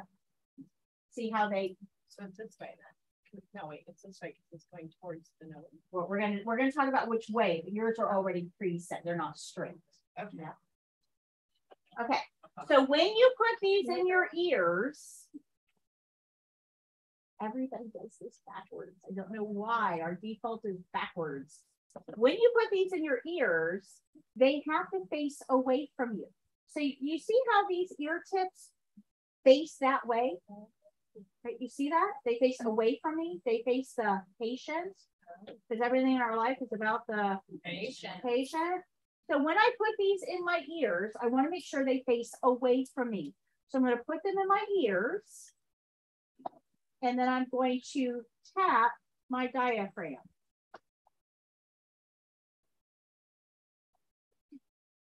The ears are backwards, so turn the whole thing around. There you go. You always want it face away from it. Put them in that way. One good? Yep, put them in. Tap your diaphragm. Okay.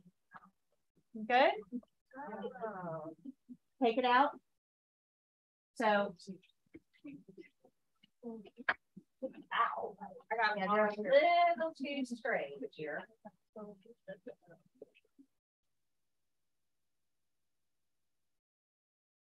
Right.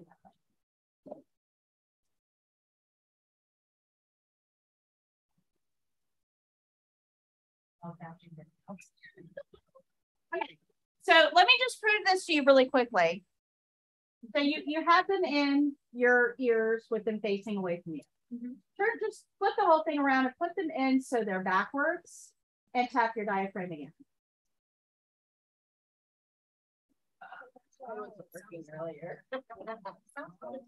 Yeah. So now turn them back around right. Put them in your ears and then tap your diaphragm. Thank you. You guys seeing that? Yeah. Yeah. What a difference that It does. It does. I have people that come next door and buy very expensive mic or micro stethoscopes, and then they'll bring them back a day or two later and say they don't work. Mm-hmm. And I'll either flip the diaphragm around or I'll turn them around and say, now try. Because everybody puts these in backwards. Mm-hmm. I don't know why. All right, so now let's talk about the cup.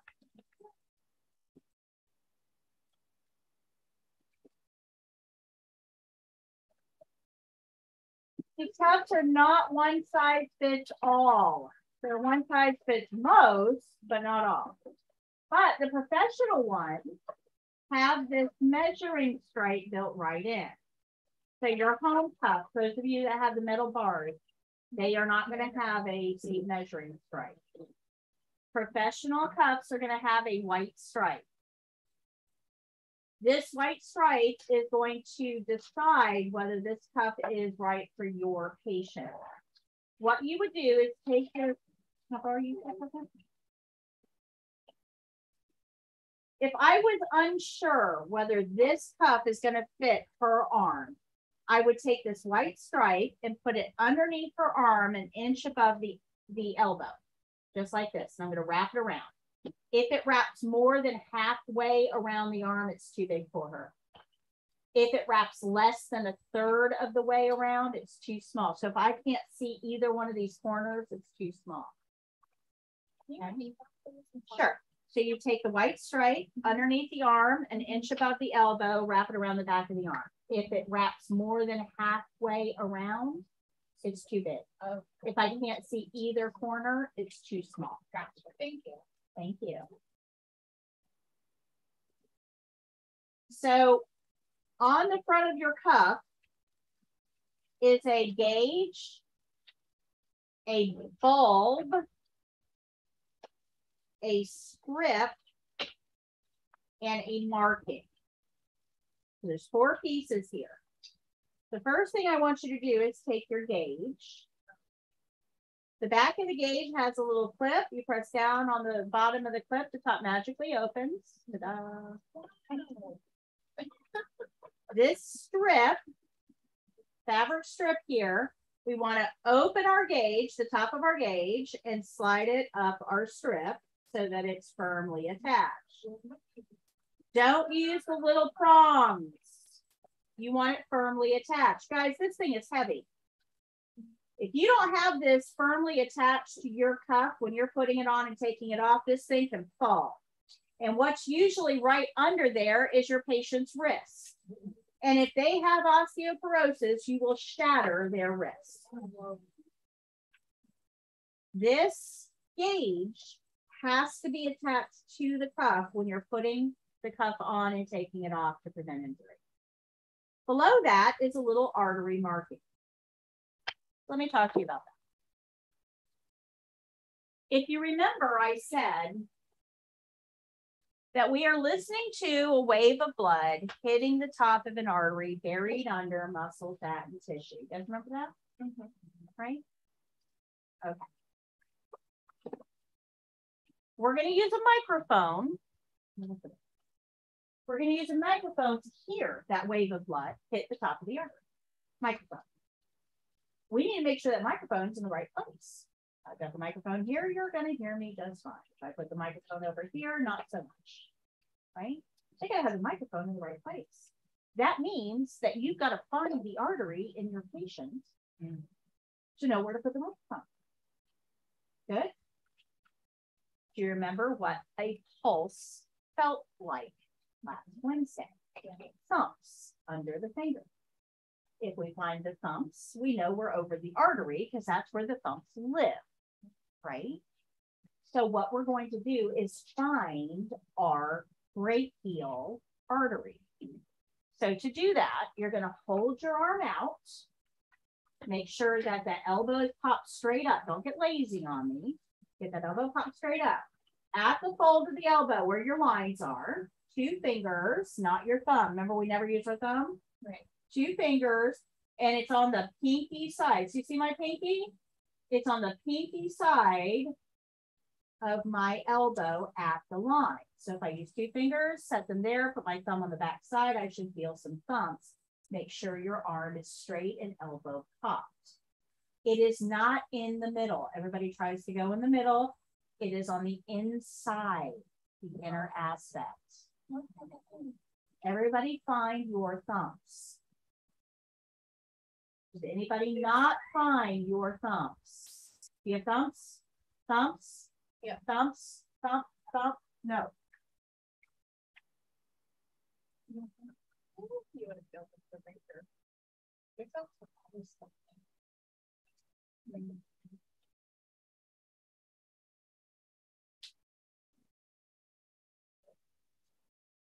Okay, now keep your fingers there. So I've got my, my artery right here. I'm feeling my thumbs. Keep my fingers there, but let my elbow relax. Oh, better. Oh, what happened to your thumbs? So, yeah, you feel them? How many of you lost your thumbs? I did. Yeah, quite a few. Get that elbow pop back out, and there they are again. That's right. So when you're trying to find an artery on a patient at home this weekend, if they get lazy on you, you're not going to be able to find your thumbs. Okay? Make sure that arm is straight. Now, used to be because we're, we have to put our stethoscope where the artery is. So we found the artery. Yep, there it is. I feel it right there. So I can put an X mark the spot. Now I know where to put my stethoscope because that's where I felt the thumbs, right? Pen, X marks the spot. Know where to put my. Do you think your patient wants you writing on them with a pen? No, no. Probably not. So there's a better way. So on your blood pressure cuff, underneath your gauge is a little artery marking. You may have an arrow that says right arm, left arm. You may have a line with a circle. You have an artery marker on your cuff. So instead of having to write on our patients, we lay this on the arm. Don't secure it. So I'm just, just watch me right now. Don't get, don't do it yet. But if you lay this on the upper arm of your patient, just lay it there. Don't secure it. Just lay it in place. Find your artery. There it is. Line your arrow up with where you feel the artery. This becomes your X marks the spot. Then you want to secure this snugly around the arm. You don't want it to move. You want it snug around the arm. You want enough area here that you can put your stethoscope. If I have a microphone here, you'll hear me fine. What happens if I put my hand over that microphone? It muffles it, right? It deadens or flattens the sound. Well, if you shove that microphone or stethoscope underneath the cup, you're going to deaden or flatten the sound. So we want the cuff to end before our microphone begins. How many of you guys have ever had a blood pressure taken where they shove the stethoscope underneath? Yeah, That's not good practice. Not good practice. Right. Good? Makes sense? You see why I say blood pressure takes me a long time to teach you because I've got all these little pieces to explain to you. Mm-hmm. Okay. And if you don't know all of these little things, you're not going to be successful when we put it all together. Good? All right. So we just went through that. So let's go to um, page 39. Or 38, I'm sorry, 38. And you see this graphic at the bottom of page 38.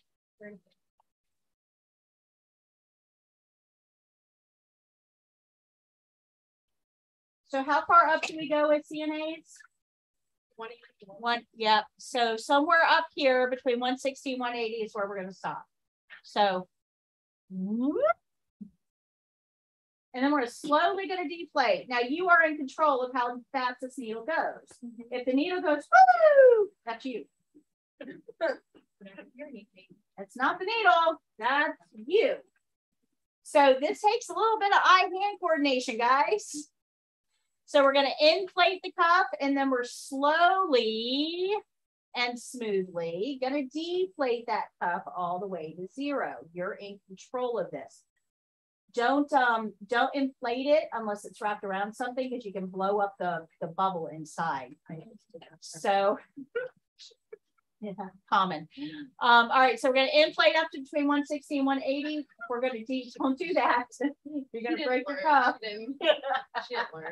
So we're gonna deflate smoothly all the way to zero. Notice I did not say until you stop hearing thumps. I said you're gonna deflate smoothly all the way to Zero. zero. That is correct. Because the heart doesn't take a break. Thump, thump, thump, thump, thump. But every once in a while, it will pause long enough to grab a cup of coffee from the break room.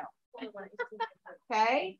So you could have a thump, thump, thump, thump, thump, thump, thump, thump, thump, thump, thump, right? Just a little tiny pause in there. And if you think that, oh, I didn't hear anymore, that's the last one, you may miss some because you stopped listening too early. Good? Questions? Okay, so we got to figure out how to read these numbers. It's not as easy as you think. You'll notice it's marked in 20s. I got a 20, a 40, a 60, an 80, 100, 120, and so on. The big lines in between are your 10s. So this is 20, 30 is not marked, but it's that big line. 40, 50, 60, 70, 80, 90, and so on. Those little teeny tiny marks are twos. So if you look here, you see 80. I have 82, 84, 86, 88, 90. Good? Okay. no. All right. Remember that we inflate up to about 180-ish, mm-hmm. right? So when this needle is coming down, it is moving backwards. Backwards. You have to take that into consideration because if you hear a sound right here, remember that needle is moving backwards. That is not 122 it's 118. Make sense? Mm -hmm. The needle is moving backwards. The numbers are increasing frontwards. Good. Okay. So up until now, I told you we're going to inflate our cup, we're going to deflate our cup, and we're going to listen for the first thump we're going to hear more. And the last clear thump, right? We're listening for these two events. I did not say anything about counting the thumps, watching the needle jump. I didn't talk about any of that, right? We inflate, we deflate, and we listen. Now, this is going to trip some of you way up because when you inflate this, this cuff and you start to deflate, your needle's going to do something like this.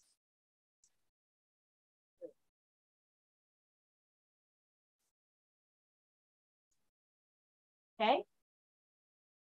That doesn't have any bearing on the blood pressure. None. Zero.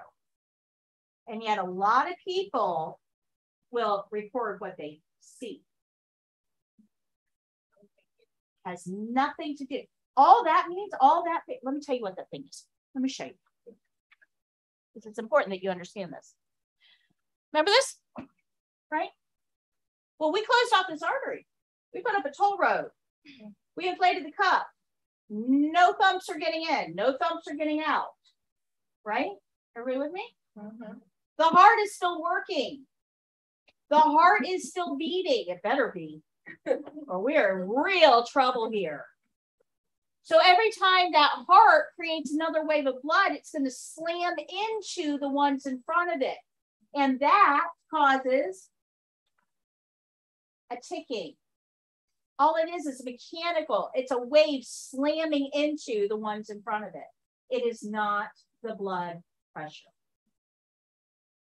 Okay actually a couple of YouTube videos. It'll tell you, yeah, wherever you see the needle start to take, that's your blood pressure.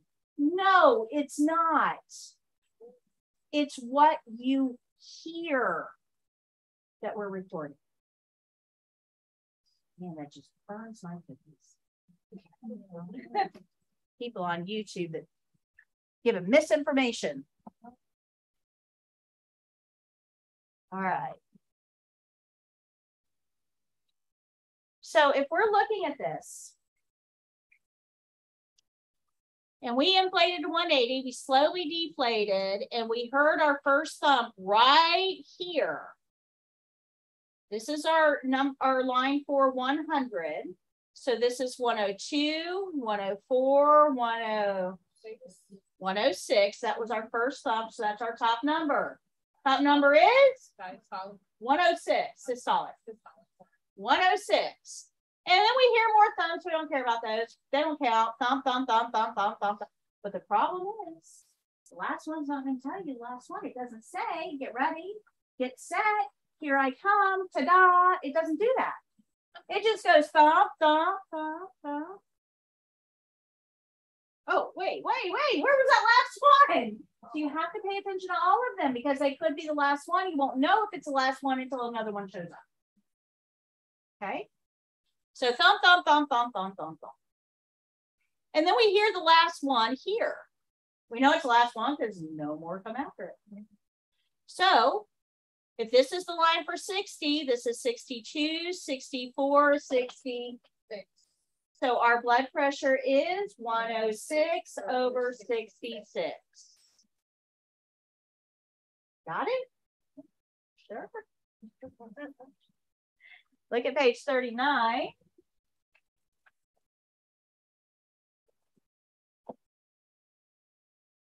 And in the middle of the gray column, you'll see number eight and nine. I know these are really small and hard to see. Do the best you can. So if you look at number eight, you can see the little picture there to the right. It tells you where the first thump was heard and where the last thump was heard. Can anybody tell me what the blood pressure reading is? 130 over 90. Everybody got that? Everybody understand how we got that? Oh, never mind. I was looking at the wrong one. Oh, okay. 130 over 90. Everybody understand how we got that? Mm -hmm. All right, let's talk about normals. Normals. So now that we got the number, we got to figure out what to do with it. Normal for systolic or top number is between 100 and 119. What did we get? 130. Is that between 100 and 119? No. This is abnormal. What do we do with abnormals? Reporting to the nurse. Yep. One abnormal is enough for us. Even if the bottom was in range, doesn't matter. We got one abnormal, that's enough. Two abnormals is even more special. Okay. So bottom number or diastolic, the normal was 60 to 79. We got 90. Is that normal? No. So what do we do? Yeah. If I got one normal, I could walk leisurely down the hallway. If I got two normals, I probably ought to add a little pep in my step. Don't have to run. But if you remember, I said that where we hear the first thump is our top number, right? So where we hear a first thump is our top number. So if I get ready to take a blood pressure, I get the cuff on, and I inflate up to 180 like I always do, and all of a sudden, right away, I hear thumps.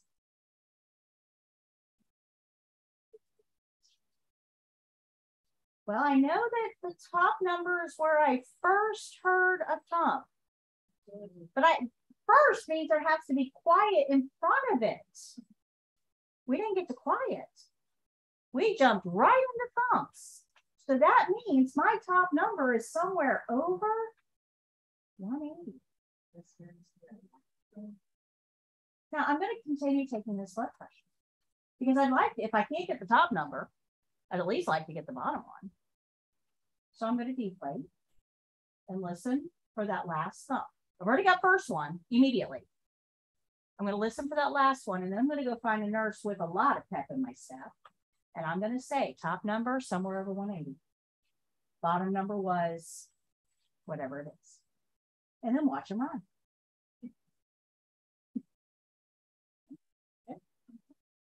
Now, there are some people that can live with very high blood pressures for very long periods of time with no ill effects. I mean, like you look at them, go, "Are you feeling okay?" and it's just normal for them. There's people that live with very low blood pressures, and that's normal for them. Good. We don't judge. We're non-judging. We're just reporting. Just make sense? Mm-hmm. Okay. So if we get up to 160, 180, wherever we're stopping and we hear thumps right away, we know the top numbers above that because remember, you have to have quiet to find the first. We didn't find our pocket of quiet. And we don't need to. High is high. We don't need to know how high. Good. All right, so let's go on to number 10. If you look at number 10, what is this person's blood pressure?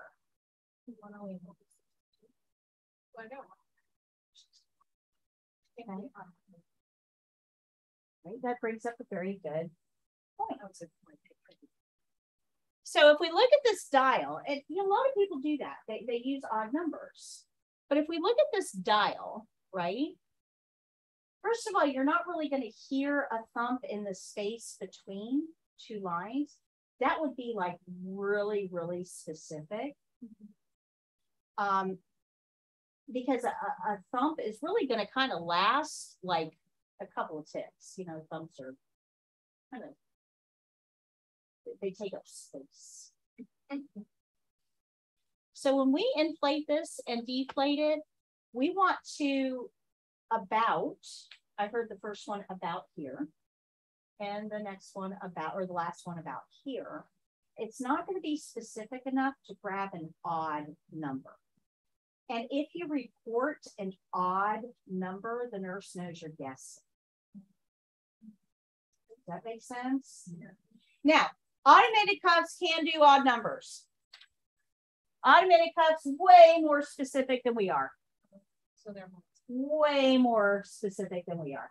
Now, the, the problem is that our human brain, uh, human brains are really remarkable things, but they're somewhat limited because, bear with me here, you're listening for thumps.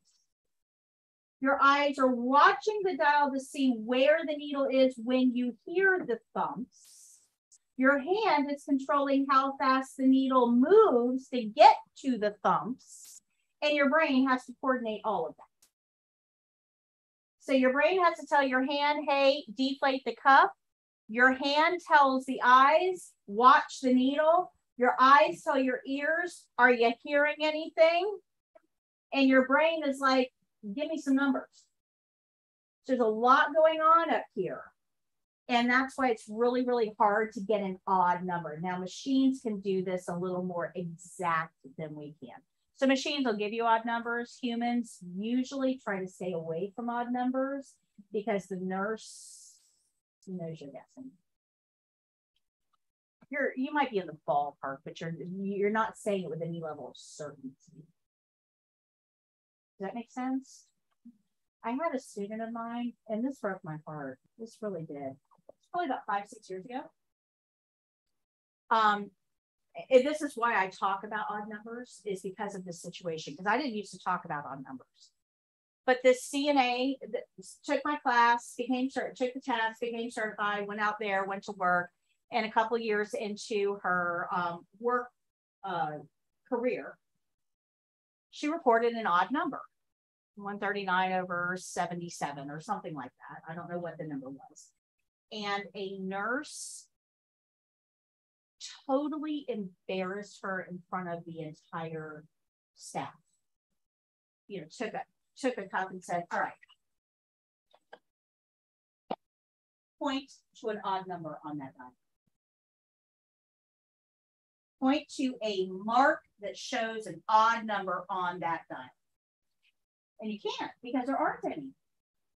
And I mean, really made her belittled her. And that's horrible that nurse should be taken out back and done horrible things with. Right? That, that that's an education opportunity, not a belittling opportunity. And that was the wrong way to handle it. I am always on the side of the CNA. But the nurse did have point. Wrong approach, but there was an education opportunity there. So because of that, I now, I don't know if that nurse is still out there, guys. Right here in our community. I don't know if she's still out there. So be aware that odd numbers show a certain level of uncertainty. Good. Questions? Okay, so the way this works. Can you come up here?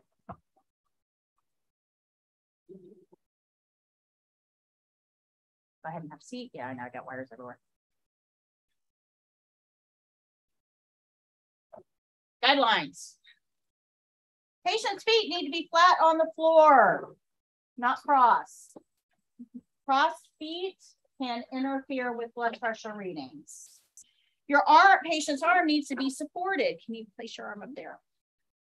We want to ask the patient which arm can we use. If the patient has an arm that can't be used, they'll know it, they'll tell us. It could be on the care plan as well. When you're practicing at home on live people, you want to ask the person you're practicing on, Aunt Sally, is there an arm that I can't use?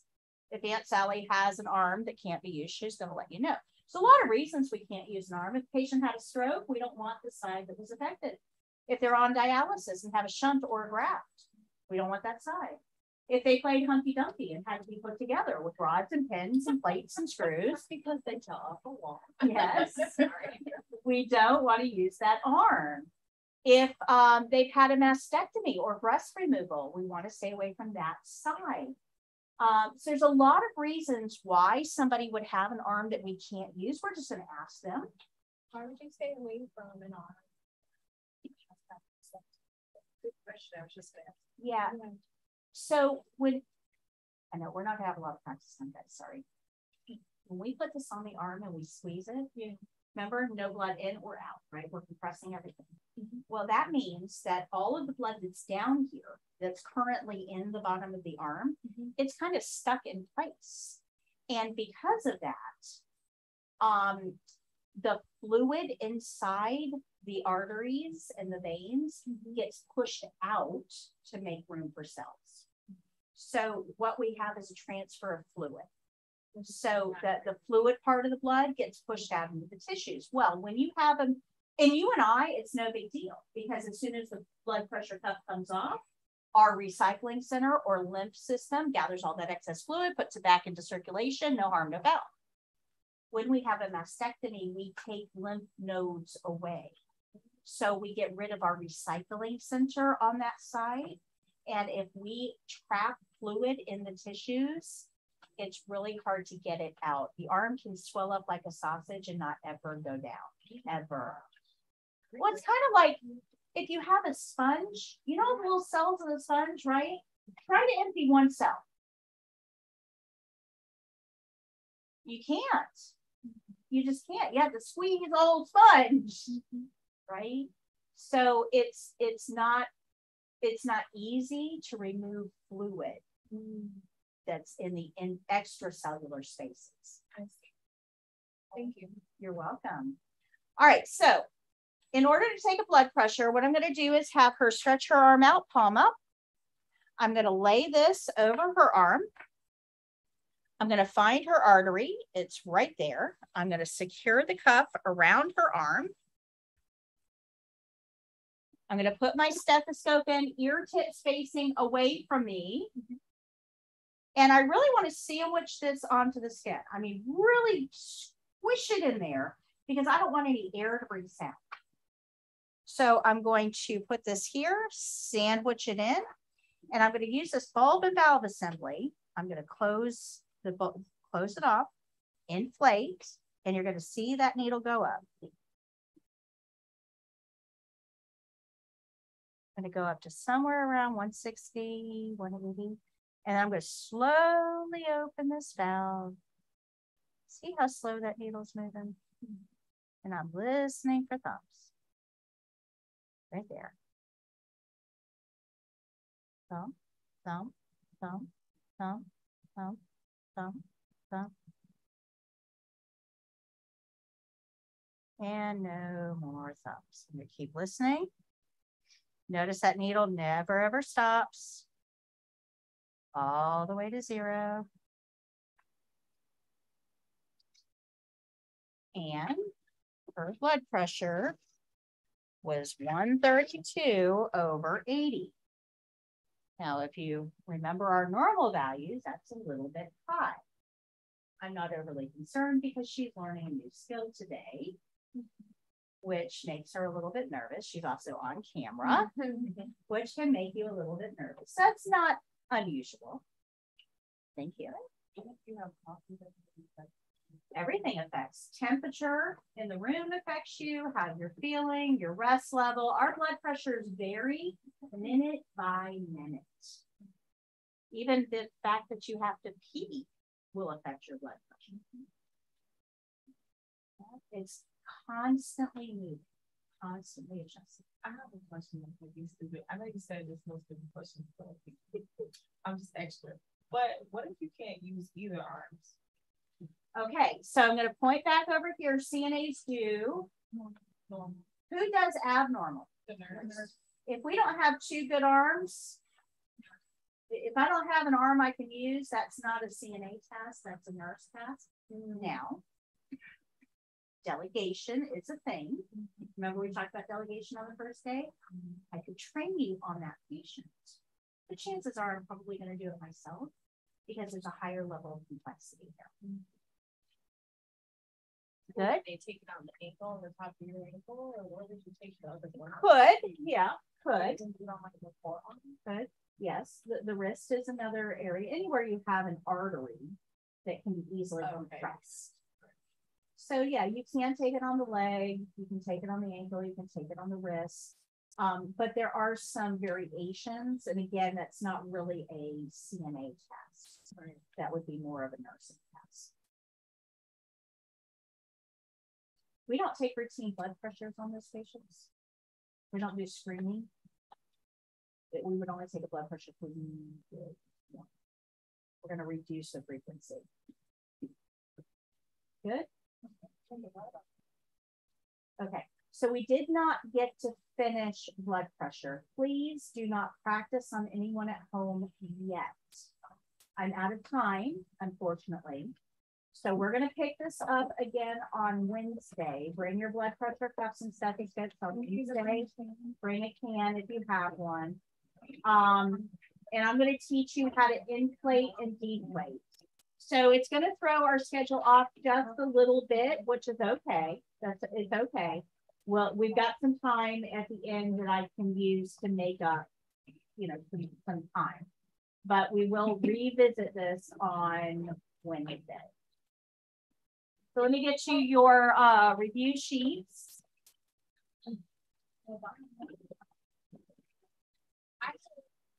Yes.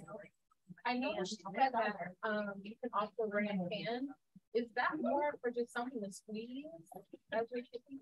Or no? You shouldn't, your patient should not be squeezing anything because that exercises the arm, which is going to put more uh, need for blood flow. Increased blood flow is increased pressure. And it'll be higher.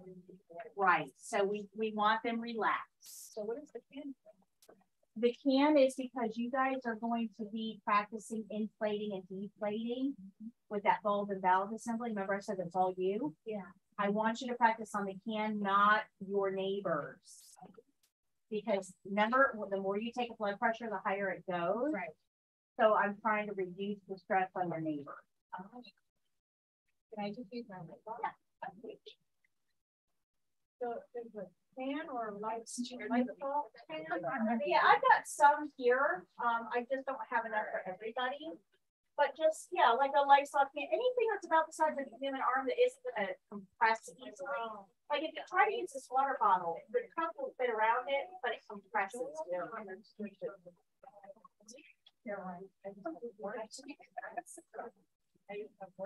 Question for you. Yes. So I don't have to keep it. I have Um, Cause I didn't ever get the email, is there, can I, Can I join the online thing and do some of the activities without getting an invite from you? It, there's uh ten or eleven lessons that are unlocked, but it's not gonna get you far. Okay, I'll just have you send me another one. So yeah, I'll send you another one. So come over to my desk real quick.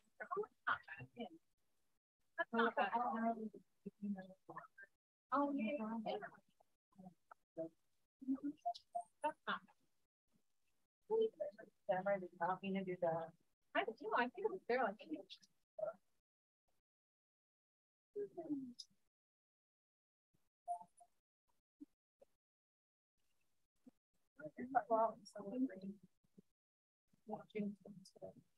We'll have to do this, like-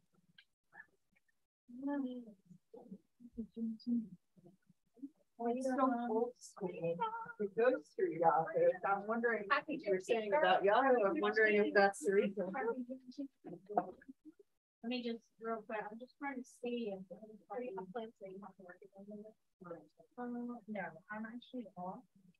I just wanted to, uh, address any questions I have on YouTube, but my chat isn't loading. All right, YouTube guys, if you can still see me, I'm sorry, my chat is not loading. I can't see your questions, but join us tomorrow for our game show at eleven Eastern. And Wednesday, we'll be back in class. Hope to see you there. Until next time, happy caregiving.